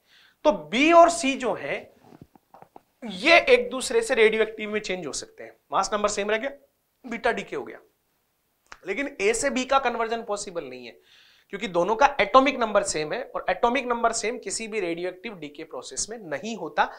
तो अपन ये बोल सकते हैं कि ऑप्शन डी जो है कि it is possible that B में change to C through a radioactive decay process ये वाला करेक्ट होगा, बाकी कोई भी ऑप्शन करेक्ट नहीं है। आगे बढ़ाते हैं 43 के बाद क्वेश्चन नंबर 44 में देखिए, ये बोला जा रहा है कि न्यूमेरिकल एपरेचर जो होता है किसी भी ऑप्टिकल फाइबर का, वो इसकी लाइट गैदरिंग पावर का मेज़रमेंट होता है। ये इंफॉर्मेटिव सी बात है, इसको ध्यान में रखना अपने को। चलिए 44 के बाद क्वेश्चन नंबर 45 की बात करें कि a direct vision spectroscope has been designed to obtain dispersion without deviation by arranging alternating inverted thin prism of मतलब uh, मेरे को डिस्पर्शन विदाउट डेविएशन वाला अरेंजमेंट करना है। और उसके लिए दो प्रिज्मों को अरेंज किया गया है। डिस्पर्शन होगा लेकिन डेविएशन ज़ीरो होगा। डेविएशन ज़ीरो होगा ना जैसे ये पहला प्रिज्म और ये दूसरा प्रिज्म है। तो डेविएशन ज़ीरो के लिए अपन ये लिखते हैं, mu one minus one into में A one is equal to numerically. वैसे तो अपन ऐसे लिखते हैं कि ये प्लस लगा दिया साथ में, mu two minus one into में ए टू, ये वाली वैल्यू ज़ीरो आती है, एक इन्वर्टेड आता है। तो कोई दिक्कत नहीं है, न्यूमेरिकली अपन ये बोल सकते हैं कि इस सिचुएशन में mu one minus one into में ए वन आपके पास mod, mu two minus one into A two के इक्वल आएगा। ठीक है? क्राउन ग्लास के लिए रिफ्रैक्टिव इंडेक्स गिवन है फ्लिंट ग्लास के लिए रिफ्रैक्टिव इंडेक्स गिवन है और एंगल भी गिवन है। तो क्राउन वाले के लिए एंगल कैलकुलेट करना ए वन कैलकुलेट करना म्यू वन दिया है म्यू टू दिया है ए टू दिया है। डाटा पुट करके चेक करेंगे, देखो ए वन की वैल्यू आएगी zero one point seven three two minus में one zero point seven three two into में। This angle is three degree divided by one point four one four minus में one zero point four one four यहाँ से solve करेंगे। तो option C जो आएगा that is the correct answer चलिए। 45 के बाद क्वेश्चन नंबर 46 की बात करते हैं। 46 में बोला गया है continuous and characteristics X rays are produced when the electron beam are accelerated by high potential difference of V volt it made to hit the metallic target molybdenum of modern Coolidge tube Coolidge tube है। V volt potential difference अपने apply किया है तो continuous और characteristics X-rays generate हो रही है। Lambda minimum smallest possible wavelength है तो स्मॉलेस्ट पॉसिबल वेवलेंथ जो होती है, वो अपने पास H C divided by E into delta V से दी जाती है कि इलेक्ट्रॉन जो है वो अपनी कंप्लीट एनर्जी जो है, वो एक्सरेस के फॉर्म में रिलीज़ कर देता है। तो ये तो लेमडा मिनिमम है। दूसरा लेमडा एल अल्फ़ा जो है, वो मिनिमम कैरेक्टरिस्टिक कैरेक्टरिस्टिक्स जो वेव्स हैं, उनकी मिनिमम वेवलेंथ है लेमडा एल अल्फ़ा ठीक बात है। ये जो होता है ना, ये मेटेरियल पे डिपेंड करता है। मतलब this one is independent of the applied potential difference तो इसके बेसिस पर लेमडा एल अल्फ़ा के फ़र्स्ट और सेकंड ऑप्शन तो गलत हो गए। सी ऑप्शन में लेमडा एल अल्फ़ा देखो लेमडा लेमडा मिनिमम जो है वो अप्लाइड पोटेंशियल डिफरेंस के इनवर्सली प्रोपोर्शनल है। तो यदि आप अप्लाइड पोटेंशियल डिफरेंस को इंक्रीज करेंगे तो लेमडा मिनिमम में डिक्रीमेंट आएगा। चलिए सर आगे बढ़ाते हैं बात को। क्वेश्चन नंबर 47 देखिए, बोला गया है। While performing an experiment for determining the focal length of a concave mirror by UV method UV method से एक कॉन्केव मिरर की फोकल लेंथ कैलकुलेट कर रहे हैं। A student records the given set of position in the object and corresponding image on the bench object और image की कुछ locations दी गई है। She used an optical bench of length 1.5 meter mirror is fixed at the 90 centimeter mark on the bench mirror 90 centimeter पर फिक्स है। The maximum acceptable error in the location of image image की location में maximum acceptable error जो है वो 0.2 centimeter का है। Reading that can not be obtained from the experimental measurement and has been incorrectly recorded for a mirror of focal length 24 centimeter कि भाई कुछ रीडिंग्स हमने ऑप्टिकल बेंच में ऑब्जेक्ट और इमेज की ली है। इनमें से कौन सा जो है रीडिंग वो इनकरेक्टली मेजर हुआ है। ठीक है, देखो, ऐसा है। आप ऐसे सोचो कि मिरर जो है ना, वो यहाँ है ना? ठीक है 90 सेंटीमीटर पे। ऑब्जेक्ट मान लो यहाँ से x1 डिस्टेंस पर है और इमेज यहाँ से x2 डिस्टेंस पर है। तो आप ये बोल दोगे कि u की वैल्यू तो होगी minus ninety minus X one और v की वैल्यू होगी minus ninety minus X two U और v का डाटा अपने पास आ गया। अब यदि मैं यहाँ से देखो, पहला, ये दूसरा, ये तीसरा, चौथा, पांचवा। ये जितने भी डाटा ना, ये सारे रख के सोल्व करता हूँ ना तो फोकल लेंथ आता है 24 सेंटीमीटर माइनस में। जैसे मैं इसके लेकर बात कर लेता हूँ। 90 minus twelve that one is 78 तो फ़र्स्ट वाले डाटा के लिए यू की वैल्यू माइनस सेवेंटी आ रही है।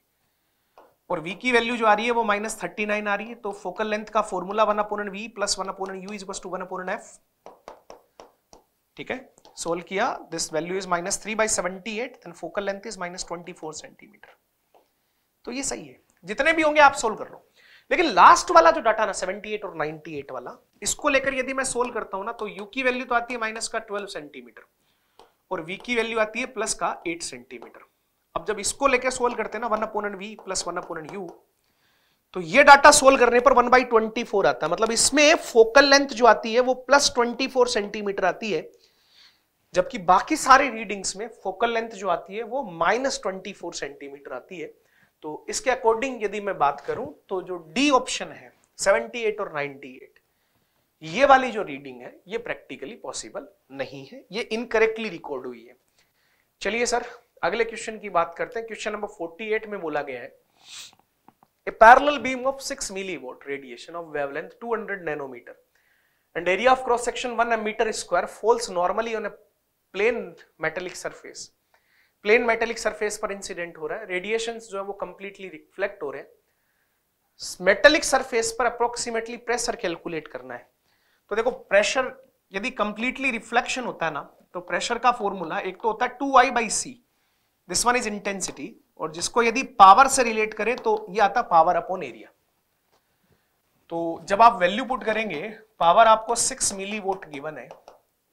सरफेस का एरिया जो है वो वन एम एम स्क्वायर है। C is three into ten raise to the power eight तो ये डाटा निकल के आता है फोर इंटू टेन की पावर माइनस फाइव पास्कल तो according to this fourth option is the correct answer चलिए सर देखो यहाँ तक का जो पार्ट था ना, ये सिंगल चॉइस क्वेश्चन का था। अब आगे के जो पार्ट है, ये बारह क्वेश्चन मल्टीपल चॉइस क्वेश्चन के हैं।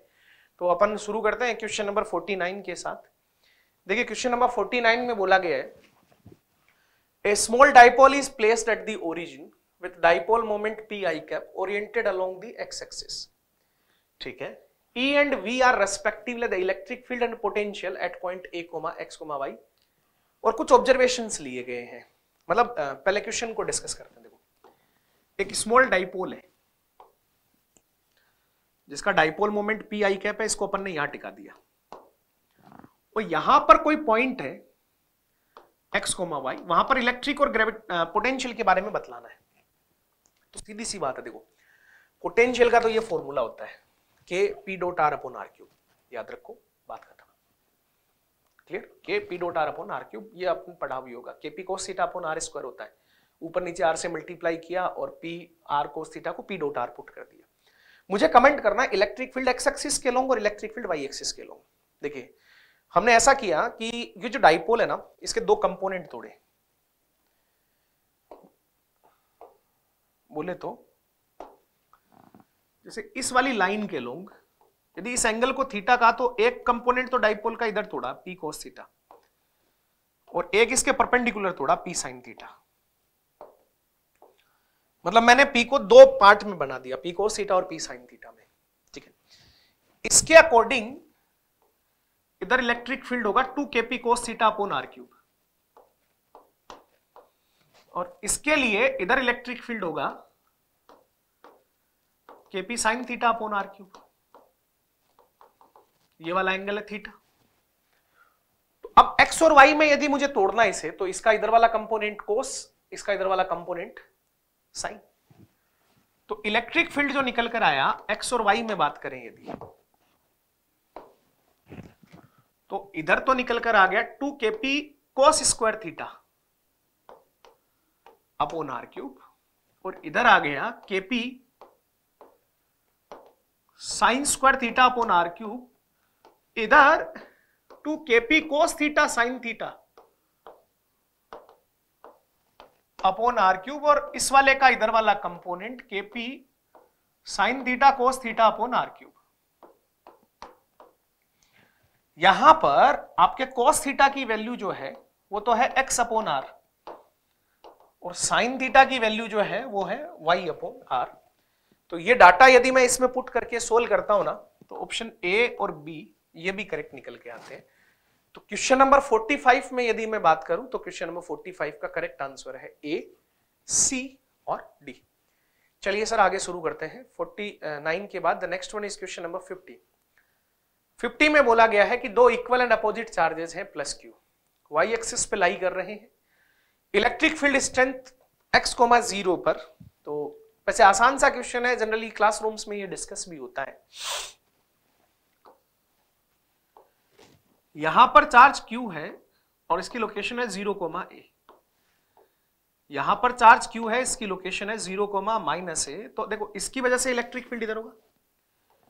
इसकी वजह से इलेक्ट्रिक फ़ील्ड इधर होगा, ये एंगल थीटा ये थीटा ये ई ये ई तो नेट इलेक्ट्रिक फ़ील्ड को अपन कह सकते हैं this one is to E cos theta I cap वैसे तो। टू ई की value K Q upon x square plus R square and cos theta is x upon under root X square plus A square केवल magnitude में बात करें तो ये electric field आ गया, किसी भी वेरिएबल पॉइंट पी पर। ठीक है? तो एक तो एक्स एक्सिस के अलोंग इलेक्ट्रिक फ़ील्ड होगा। और इलेक्ट्रिक फ़ील्ड जो होगा, ये वाला डाटा सेटिस्फाई कर रहा है, नहीं कर रहा है। लार्ज वैल्यूज़ के लिए तो लार्ज वैल्यूज़ मतलब X very very greater than A तो X square plus A square वैसे ईपी लिखना चाहें। This one is two K Q X upon X square plus A square raise to the power three by two यदि x very very large है तो X square plus A square X square के equal होगा। X square की power three by two मतलब X cube तो नीचे one by X square बच गया।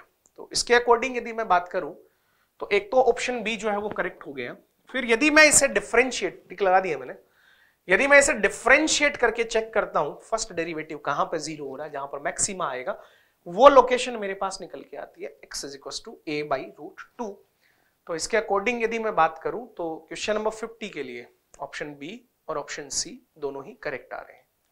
चलिए तो अपन अगले क्वेश्चन की बात करते हैं क्वेश्चन नंबर 51 देखो, इसमें ये बोला गया है that metal rod of mass small M and length L slides on a frictionless parallel metal rails of negligible resistance a resistance capital R is connected between the rails at their ends as shown in the figure a uniform magnetic field B is directed into the plane of paper perpendicular to the plane of race rails throughout the space the rod is given an initial velocity V note no other force acts on the rod then मतलब situation कुछ ऐसी है कि uniform magnetic field है। देखो, अपने पास यहाँ एक रेजिस्टेंस कनेक्टेड है।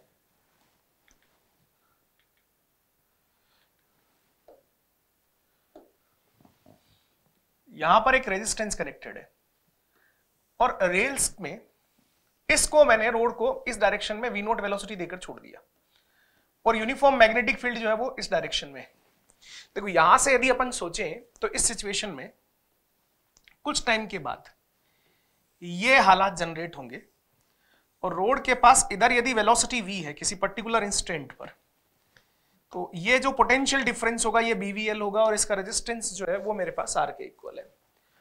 तो इसमें करंट जो फ्लो करेगा, वो फ्लो करेगा बीवीएल बाई आर अब इसकी वजह से, इस करंट फ्लो की वजह से करंट इधर फ्लो कर रहा है मैग्नेटिक फ़ील्ड इनवर्ड है तो इस डायरेक्शन में इस पर फोर्स एक्ट करेगा। तो करंट की डायरेक्शन में मैं फ़र्स्ट फिंगर को रख रहा हूँ मिडिल फिंगर जो है वो फोर्स मैग्नेटिक फ़ील्ड की डायरेक्शन में तो फोर्स इस डायरेक्शन में आ रहा है एफएम इसकी वैल्यू मैग्नेटिक फोर्स की वैल्यू होती है F M is equal to I L B by R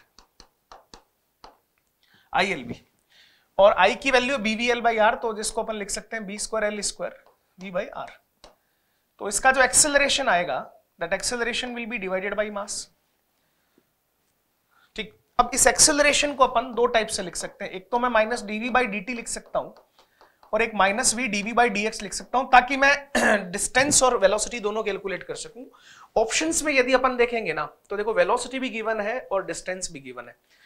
तो इसके बेसिस पर यदि मैं वेलोसिटी वाले टर्म के लिए सोल्व करूँगा तो this one is D V upon V is equal to B square L square divided by M R into में D T let's integrate it minus का साइन है zero to T let's integrate it V naught to V तो solve करने पर velocity आती है V naught E raise to the power minus B square L square M R into T जो कि first option में given नहीं है, इसलिए फ़र्स्ट ऑप्शन गलत हो गया. सेकंड यदि मैं वी डीवी बाई डी वाले से सोल्व करता हूँ ना तो मेरे पास डीवी बाई डी की वैल्यू यहाँ पर निकल के आती है माइनस में B square L square by M R ठीक बात? और मैं डिस्टेंस यदि कैलकुलेट करना चाहूँ तो dx can be written as minus में M R upon B square M L square into में डीवी जिसको इंटीग्रेट कर दूँगा वी नोट से ज़ीरो तक इसे इंटीग्रेट कर दूँगा ज़ीरो से एक्स तक तो एक्स की वैल्यू आएगी। माइनस माइनस तो प्लस हो जाएगा M R V naught upon में। बी स्क्वायर एल स्क्वायर की इतनी डिस्टेंस ट्रेवल करने के बाद बॉडी रुक जाएगी तो सेकंड ऑप्शन करेक्ट है। अब जब बॉडी रुकेगी तो इनिशियली रोड के पास काइनेटिक एनर्जी है half M V naught square और फाइनल काइनेटिक एनर्जी है ज़ीरो तो इस प्रोसेस में सारी की सारी काइनेटिक एनर्जी का लॉस हो चुका है, जो कि हीट एनर्जी की फॉर्म में डिसिपेट होगी। तो थर्ड ऑप्शन गलत हो गया। फोर्थ ऑप्शन ये बोला जा रहा है कि चार्ज जो हुआ, वो Q is equal to M V naught upon B L आएगा। देखो, चार्ज वाले के लिए यदि मैं बात करूँ तो I की वैल्यू जो है, वो B V L by R आती है। तो I will be B L by R और वेलोसिटी को लिख सकते हैं वी नोट माइनस में। E raise to the power minus B square L square by M R into T current जो है that can be written as D Q by D T तो आपका डी क्यू जो निकल के आएगा that is B L V naught upon R E raise to the power minus B square L square by M R into में T D T इसे integrate कर दो ज़ीरो से इन्फानाइट तक, इसे इंटीग्रेट कर दो ज़ीरो से क्यू तक। तो ये जो फोर्थ वाला ऑप्शन है M V naught upon B L ये भी करेक्ट निकल के आता है। तो इस क्वेश्चन के जो करेक्ट ऑप्शन है दो हज़ार option B and option D A and C जो है, वो इनकरेक्ट आंसर है।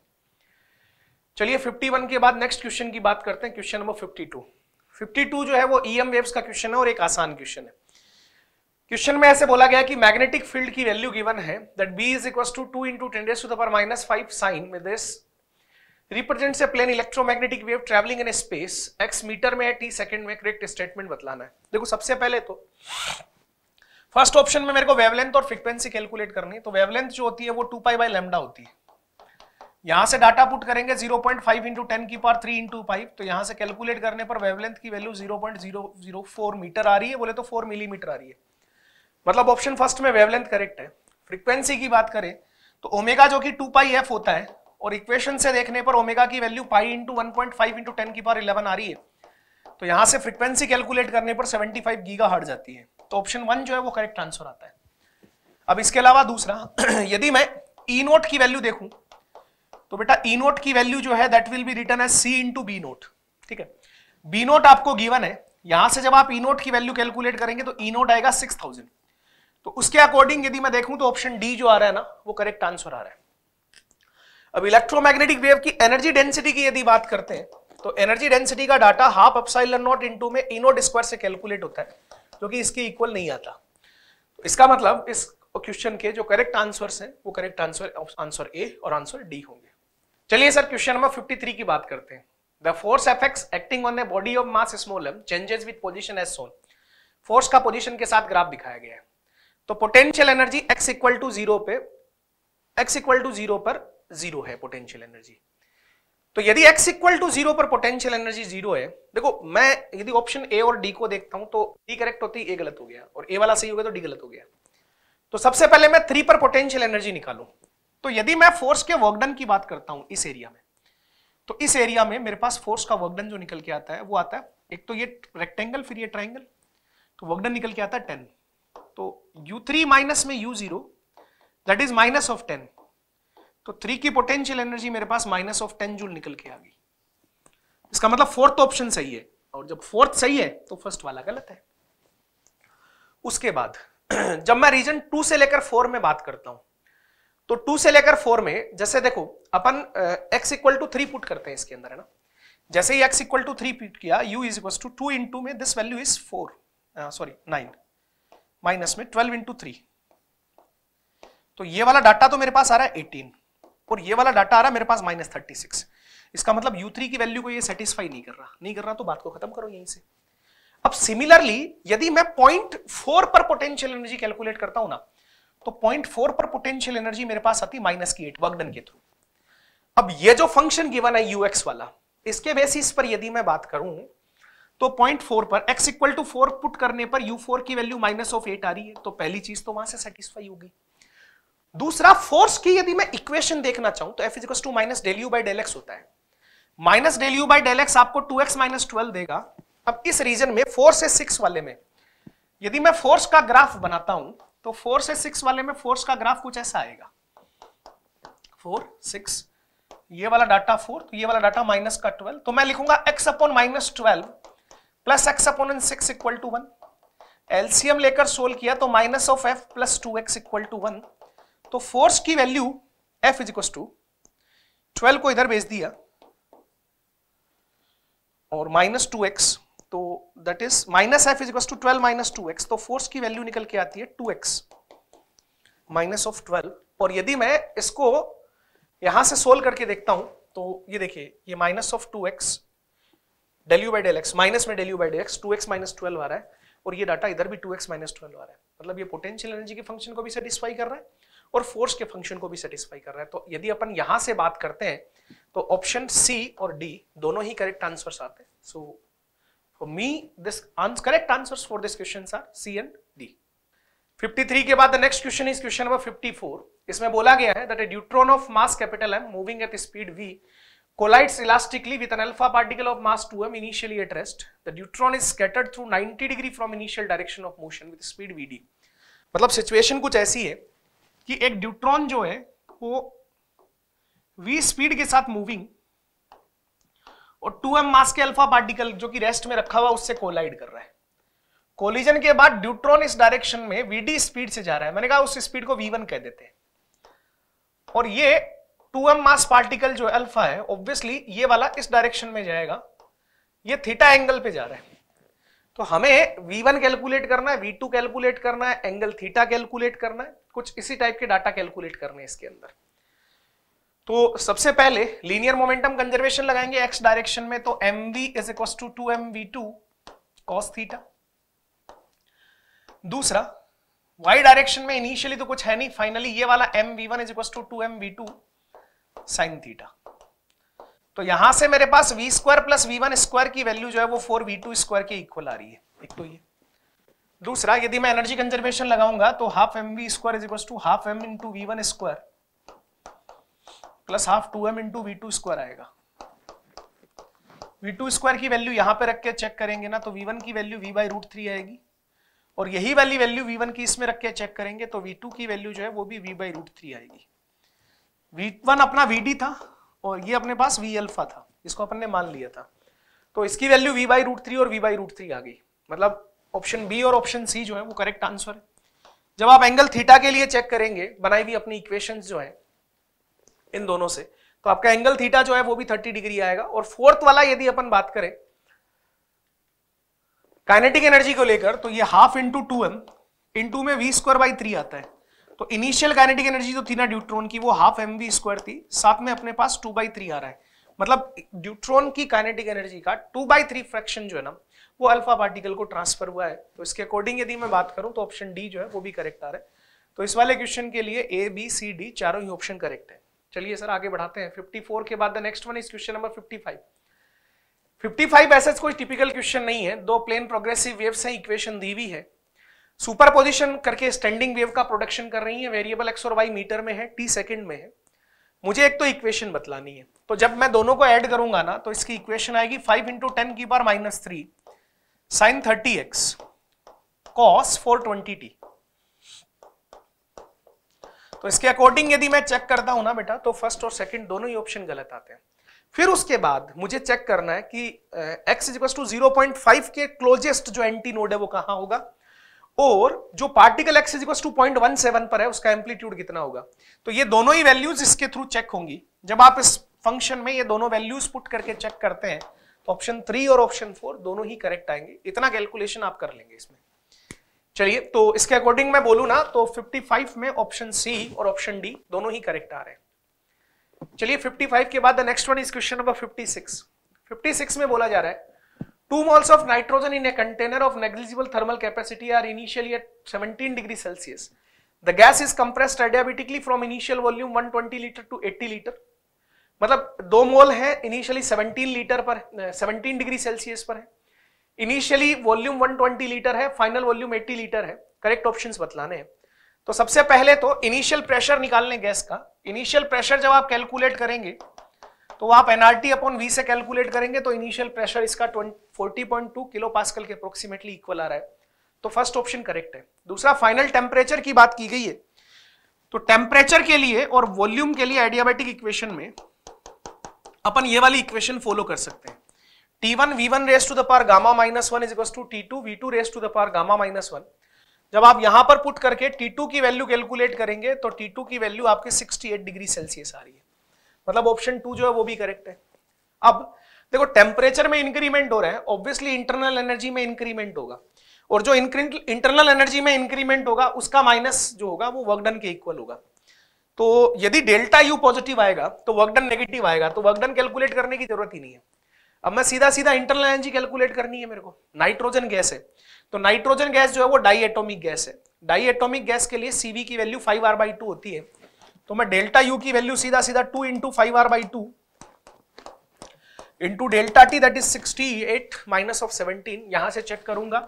तो गैस की इंटरनल एनर्जी जो है, वो मेरे पास निकल के 2.12 किलो जूल आ रही है। So that is the correct answer तो इसके अकॉर्डिंग यदि मैं बात करूँ तो 56 में मेरा जो करेक्ट आंसर आ रहा है, वो ए बी और डी निकल के आ रहा है। चलिए आगे बढ़ाते हैं। 56 के बाद क्वेश्चन नंबर 57 देख 57 में ये बोला गया है कि in the circuit shown the current in the eight ohm resistance ये जो रेजिस्टेंस है ना, इस रेजिस्टेंस से जो करंट जा रहा है, वो 0.5 एम्पियर का है.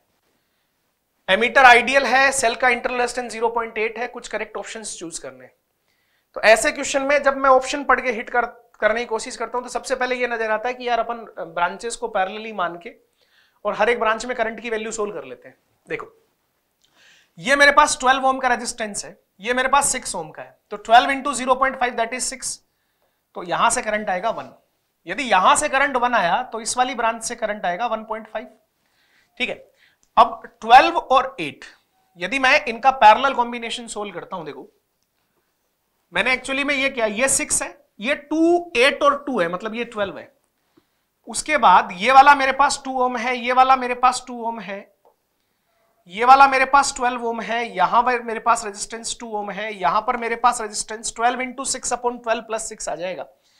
तो वो रेजिस्टेंस 4 ओम का निकल के आएगा। अब मैं जब यहाँ से बात करूँगा ना तो देखो ये पैरेलली 8 है। अब 8 से करंट जा रहा है 3 बाई टू का। यहाँ से मैंने कहा मान लो करंट जा रहा है स्मॉल आई का। तो 8 into three by two is equal to twelve into I ये फोर टाइम्स कैंसिल आउट हुआ। आई की वैल्यू वन निकल के आ गई। यदि इधर से करंट वन है तो इधर से करंट जो होगा वो फाइव बाई टू होगा। मतलब इस वाली ब्रांच से जो करंट जा रहा है, वो टू पॉइंट फाइव का निकल के जा रहा है। तो सबसे पहले तो मैं पोटेंशियल डिफरेंस के रिगार्डिंग बातें कर लेता हूँ, फिर सेल का ईएमएफ भी निकाल लूँगा। देखो, यदि यहाँ से 1.5 है, इधर से 1 इधर से 0.5 तो इस वाली ब्रांच से वापस से 1.5 का करंट जाएगा। तो एमीटर की रीडिंग 1.5 तो फ़र्स्ट ऑप्शन करेक्ट है। अब मेरे को पोटेंशियल डिफरेंस निकालने, एक तो ए और एच के बीच। ए यहाँ पर है एच यहाँ पर है तो ए और एच के बीच जब मैं V A minus V H लिखूँगा तो मैं उसको लिखूँगा two into two point five two into one point five मैं इसी सीरीज़ में चल रहा हूँ।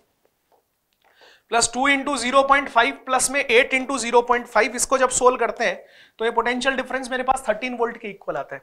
सिमिलरली जब मैं सी और एफ़ के बीच पोटेंशियल डिफरेंस कैलकुलेट करता हूँ तो वो पोटेंशियल डिफरेंस नाइन वोल्ट के इक्वल आता है। अब मेरे को करना क्या है? मेरे को सिंपली इस पूरे सेल का ईएमएफ चाहिए। सेल का ईएमएफ चाहिए तो कंप्लीट सर्किट का रेजिस्टेंस कैलकुलेट करना इक्विवेलेंट इक्विवेलेंट रेजिस्टेंस के लिए देखो, ये 12 है और ये 8 है। तो 12 और 8 दोनों पैरेलल में हो गए। तो अभी मेरे पास सिचुएशन कुछ ऐसी है। This one is 12 into eight upon twelve plus eight this one is 12 into eight upon twenty solve किया। ये कैंसिल आउट हुआ। वन टेन टाइम्स कर देते हैं, इसको सिक्स टाइम कर देते हैं। तो ये फोर्टी एट अपॉन टेन मतलब ये वैल्यू फोर पॉइंट एट आ गई। ये टू यहाँ पर भी रेजिस्टेंस टू है और यहाँ पर सेल का ई e और इंटरनल रेजिस्टेंस ज़ीरो पॉइंट आठ है। तो मैं ये कहूँगा ई e अपॉन में two plus four point eight plus two plus zero point eight ये सर्किट में इक्विवेलेंट करंट को बतलाएगा। तो यहाँ से यदि मैं सोल्व करता हूँ तो मेरे पास सर्किट में जो ईएमएफ कैलकुलेट होकर आता है बैटरी का, वो 24 वोल्ट के इक्विवेलेंट आता है। मतलब क्वेश्चन नंबर 57 में ऑप्शन ए बी सी और डी चारों ही करेक्ट आंसर है। चलिए आगे बढ़ते हैं। 57 के बाद 58 में बोला जा रहा है। In an experiment with Lummer Gehrcke plate the two coherent beams of light caused by multiple reflections inside the transparent plate of refractive index मतलब इसमें कुछ मल्टीपल रिफ्लेक्शन हो रहे हैं। जिसका रिफ्रेक्टिव इंडेक्स 1.4 है reaches the point P and Q on the screen screen के point P और क्यू पर पहुँच रहे हैं। The net path difference between the two beams reaching the either at P or Q is delta x. P और Q पे किसी भी पे भी path difference delta x जो आ रहा है वो 5000 नैनोमीटर आ रहा है Which of the wavelengths of visible range are most likely to produce a conductive interference at point P and Q on the screen? मतलब नेट पाथ डिफरेंस जो है वो 5000 नैनोमीटर आ रहा है और कौन सी लाइट विजिबल रेंज में कौन सी वेवलेंथ है जो कंस्ट्रक्टिव इंटरफ्रेंस प्रोड्यूस करेंगी तो देखो कंस्ट्रक्टिव इंटरफ्रेंस प्रोड्यूस करने के लिए गिवन सिचुएशन में डेल्टा एक्स की वैल्यू आपके एन लेमडा की इक्वल होगी। अब अपना डेल्टा एक्स यदि एन लेमडा की इक्वल पुट कर रहे हैं डेल्टा एक्स आपको 5000 नैनोमीटर गिवन है। अब आप यहाँ से जब वेवलेंथ के लिए सोल्व करते हैं तो वेवलेंथ की ये जो तीन वैल्यूज़ है, ये तो इसमें प्रेजेंट आती है। मतलब न्यूमेरिकली सोल्व करने पर मिल रही है। और ये वाली जो वैल्यू है, ये न्यूमेरिकली सोल्व करने पर नहीं मिल रही। तो ये जो तीन वेवलेंस है इन तीन वेवलेंथ के लिए इस गिवन अरेंजमेंट में कंस्ट्रक्टिव इंटरफ्रेंस मिलेगा। चलिए आगे बढ़ते हैं। 58 के बाद 59 59 में बोला जा रहा है two identical transparent solid cylinders each of radius 10 centimetre and refractive index mu is two root three lie horizontally parallel to each other on a plane mirror with a separation X between their horizontal axes मतलब situation कुछ ऐसी है। देखो, ये दो solid cylinder है। एक तो ये यहाँ प्लेन मिरर है, और दूसरा सोलिड सिलेंडर यहाँ है। दोनों की एक्सिस के बीच सेपरेशन जो है वो स्मॉल एक्स का है, दोनों की रेडियस 10 सेंटीमीटर की है, ठीक है? अब उसके बाद a ray of light incident horizontally on a cylinder at a height H above the plane mirror so to emerges this cylinder at a height 0.1 metre above the plane mirror and the ray emerging out the first cylinder A is reflected from the horizontal plane mirror to enter the second parallel cylinder B at a height H two and then ray emerges out of the second cylinder and parallel in line with the original incident, ray. मतलब ये बोल रहा है कि यहाँ पर कोई light ray incident होती है। ये लाइट रे यहाँ से 0.1 सेंटीमीटर पर इमर्ज हो रही है। और ये सिमिलरली इससे जिस हाइट पर गई थी, उसी हाइट पे वापस जा रही है। तो ऐसा तभी पॉसिबल होगा। मतलब ये जस्ट लाइक like ऐसा लग रहा है कि प्लेन मिरर से अपने पाथ को है ना रिट्रेस कर रही है। रिट्रेस कर रही है मतलब दोनों के सेंटर एक्चुअली में इसी लाइन पर होने चाहिए। अच्छा। अब उसके बाद, एक तो अपने से ये हाइट पूछी गई है। देखो, ये वाली हाइट जो पूछी गई है ना, ये वाली हाइट तो 0.1 मीटर आ गई 10 सेंटीमीटर के इक्वल रेडियस के बराबर। अब मैं ऐसे कहूँ, देखो, अपन कुछ एंगल्स को लेकर यदि बात करते हैं ना, यदि ये वाला एंगल थीटा है तो ये वाला भी थीटा है, अब ये वाला थीटा है तो ये वाला भी थीटा है। मैंने कहा, ये यदि एंगल आर है तो ये वाला भी आर होगा। तो ये वाला पाई माइनस टू आर होगा। पाई माइनस टू आर इसका मतलब आपका pi minus two R plus theta जो है, वो किसके इक्वल आना पाई के। मतलब आपका टू आर जो है, वो किसके इक्वल आना है? थीटा के। सबसे पहले यही रिलेशन निकालना पड़ेगा। का लाइट रे इधर से आ रही है, फिर यहाँ से 0.1 सेंटीमीटर पे आउट हो रही है, फिर सिमिलर पाथ को ट्रेस करते हुए जा रही है। तो हमने रे का बनाया डायग्राम फिर मैंने कहा कि देखो, ये यदि इंसिडेंस एंगल थीटा है तो एक ये लाइन और एक ये वाली लाइन तो ये वाला जो एंगल होगा सॉरी ये वाला ये वाला एंगल थीटा होगा। अब ये थीटा ये थीटा तो इधर वाला ये भी थीटा ये आर मैंने रिफ्रेक्शन एंगल माना तो ये भी आर तो ये वाला angle pi minus two R फिर मैंने यहाँ से सोल्व किया तो टू आर की वैल्यू थीटा की इक्वल आ रही है। दूसरा वन इंटू साइन थीटा मैंने स्नेल स्लो लगाया उस पॉइंट पे is equal to root three into में साइन आर ठीक है? अब, देखो यहाँ से थीटा जो है वो टू आर के इक्वल है। तो साइन टू आर का formula two sine R cos R is equal to root three sine R अब साइन आर तो गया। Cos R root three by two आया तो आर की वैल्यू आ गई थर्टी डिग्री मतलब ये जो रिफ्रैक्शन एंगल है, ये थर्टी है। ये थर्टी है तो ये वाला कितना है? सिक्सटी ये सिक्सटी है तो ये वाला भी कितना है? सिक्सटी ये सिक्सटी है तो ये वाला कितना है? थर्टी हमने एंगल सारे सोल्व कर लिए। अब एंगल सारे सोल्व कर लिए तो अपने से कुछ कुछ डाटा पूछे गए देखो, पहले तो हाइट पूछी गई है। ये एच पूछा गया है। तो एच की वैल्यू एक तो रेडियस के इक्वल होगी। रेडियस के बाद ये वाला एंगल थीटा है तो ये वाला डाटा किसके इक्वल होगा? आर साइन थीटा के इक्वल होगा। तो एच की वैल्यू तो आ गई R one plus sine theta sine sixty होता है रूट थ्री बाई टू आप इसको सोल्व करेंगे तो ये data eighteen point seven centimetre का आ रहा है। तो इसके अकॉर्डिंग फ़र्स्ट वाला ऑप्शन सही है। सेकंड वाले में तो ज़ीरो पॉइंट वन पे वैसे ही जा रहा है तो सेकंड भी सही है। थर्ड वाले में थर्ड वाले को देखें तो दोनों के एक्सिस के बीच का सेपरेशन स्मॉल एक्स पूछा गया है। देखो, यदि स्मॉल एक्स पूछा गया ये रेडियस ये वाला डाटा यहाँ से यहाँ, ये भी रेडियस ये टोटल स्मॉल एक्स है, यहाँ से यहाँ तक का। तो मैं कहूँ स्मॉल एक्स की वैल्यू जो है, वो two times of radius plus में। अब देखो, ये वाला एंगल जो है, ये थर्टी डिग्री है। इसका मतलब ये वाला एंगल जो है, ये बस सिक्सटी डिग्री होगा। यदि ये हाइट 0.1 है, जिसको अपन h कह रहे थे तो h upon this distance d is equal to 1060 तो d is equal to H by ten तो ये डाटा आ गया 2h बाई सेंट सिक्सटी और इसको यदि अपन पुट करके सोल्व करते हैं तो थर्ड वाला जो ऑप्शन आ रहा है the separation between the axis of two cylinder A and B is 31.54 centimetre ये सही है। फोर्थ में बोल रहा है the angle of incidence on the plane mirror midways between the two cylinders मतलब वो जो प्लेन मिरर हम ले रहे हैं अपना ये वाला ये वाला एंगल ऑफ़ इंसिडेंस 30 डिग्री बोल रहा है। ये सोल्व करने पर अपना 30 डिग्री आ रहा है। तो इस क्वेश्चन के लिए यदि मैं बात करूँ तो इस क्वेश्चन के लिए ऑप्शन ए बी सी और डी चारों ही करेक्ट आ रहे हैं। चलिए सर नेक्स्ट क्वेश्चन की बात करते हैं। Question number sixty PN junction का आसान सा क्वेश्चन है। मतलब कुछ बातें पूछी गई हैं पहला कि ड्रिफ्ट करंट कब डोमिनेट करती है डिफ्यूजन करंट कब डोमिनेट करती है। तो डिफ्यूजन करंट जो है, वो तो फॉरवर्ड वाइस में डोमिनेटिंग मोड में होती है। तो अगले ने यही लिखा diffusion current dominates the junction और ड्रिफ्ट करंट जो होती है, वो रिवर्स बाइस में डोमिनेटेड होती है। मतलब अपन यदि पीएन जंक्शन में बात करें तो बीच वाला जो डिप्लीशन रीजन है, उसके बारे में फॉरवर्ड बायस में तो जैसे ये मान लो ये पी और ये एन है तो इधर वाला पार्ट जो रहेगा,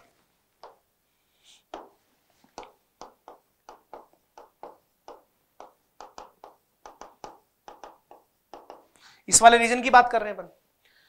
तो पहले तो जब फॉरवर्ड बायस में होता है तो डिफ्यूजन करंट डोमिनेट करती है। रिवर्स बायस में होता है तो ड्रिफ्ट करंट डोमिनेट करती है तो फ़र्स्ट और सेकंड सही है। डिप्लीशन रीजन की विर्थ जो है, वो ऑब्वियसली ये जब अपन फॉरवर्ड बायस में अप्लाई करते हैं तो डिक्रीज करती है रिवर्स बायस में अप्लाई करते हैं तो इंक्रीज करती है। और फोर्थ वाले में बोल रहा है तो थर्ड ऑप्शन भी करेक्ट है। फोर्थ वाले में बोला है कि the electric field in the depletion region depends on the number of ionized dopants rather than the dopant density तो ये डिप्लीशन रीजन पे number of ionized dopants electric field intensity जो है, वो in the depletion region depends on the number of ionized dopants कि जो ionised dopants है, उन पर डिपेंड करती है डोपेंट डेंसिटी पर नहीं करती है। तो डोपेंट की डेंसिटी जो होगी, इस पर भी डिपेंड करेगी। क्योंकि डोपेंट डेंसिटी जो होगी, वो डिप्लीशन रीजन में जो नंबर ऑफ़ आयनाइज डोपेंट्स है, वो खुद उस पर डिपेंड करेंगे। तो इलेक्ट्रिक फ़ील्ड जो है, वो डिप्लीशन रीजन में डोपेंट डेंसिटी पर भी डिपेंड करेगा। तो फोर्थ वाला ऑप्शन जो है, वो इनकरेक्ट हो गया। तो for question number sixty question A B and C are correct answer okay dear so that's all from my side in this discussion.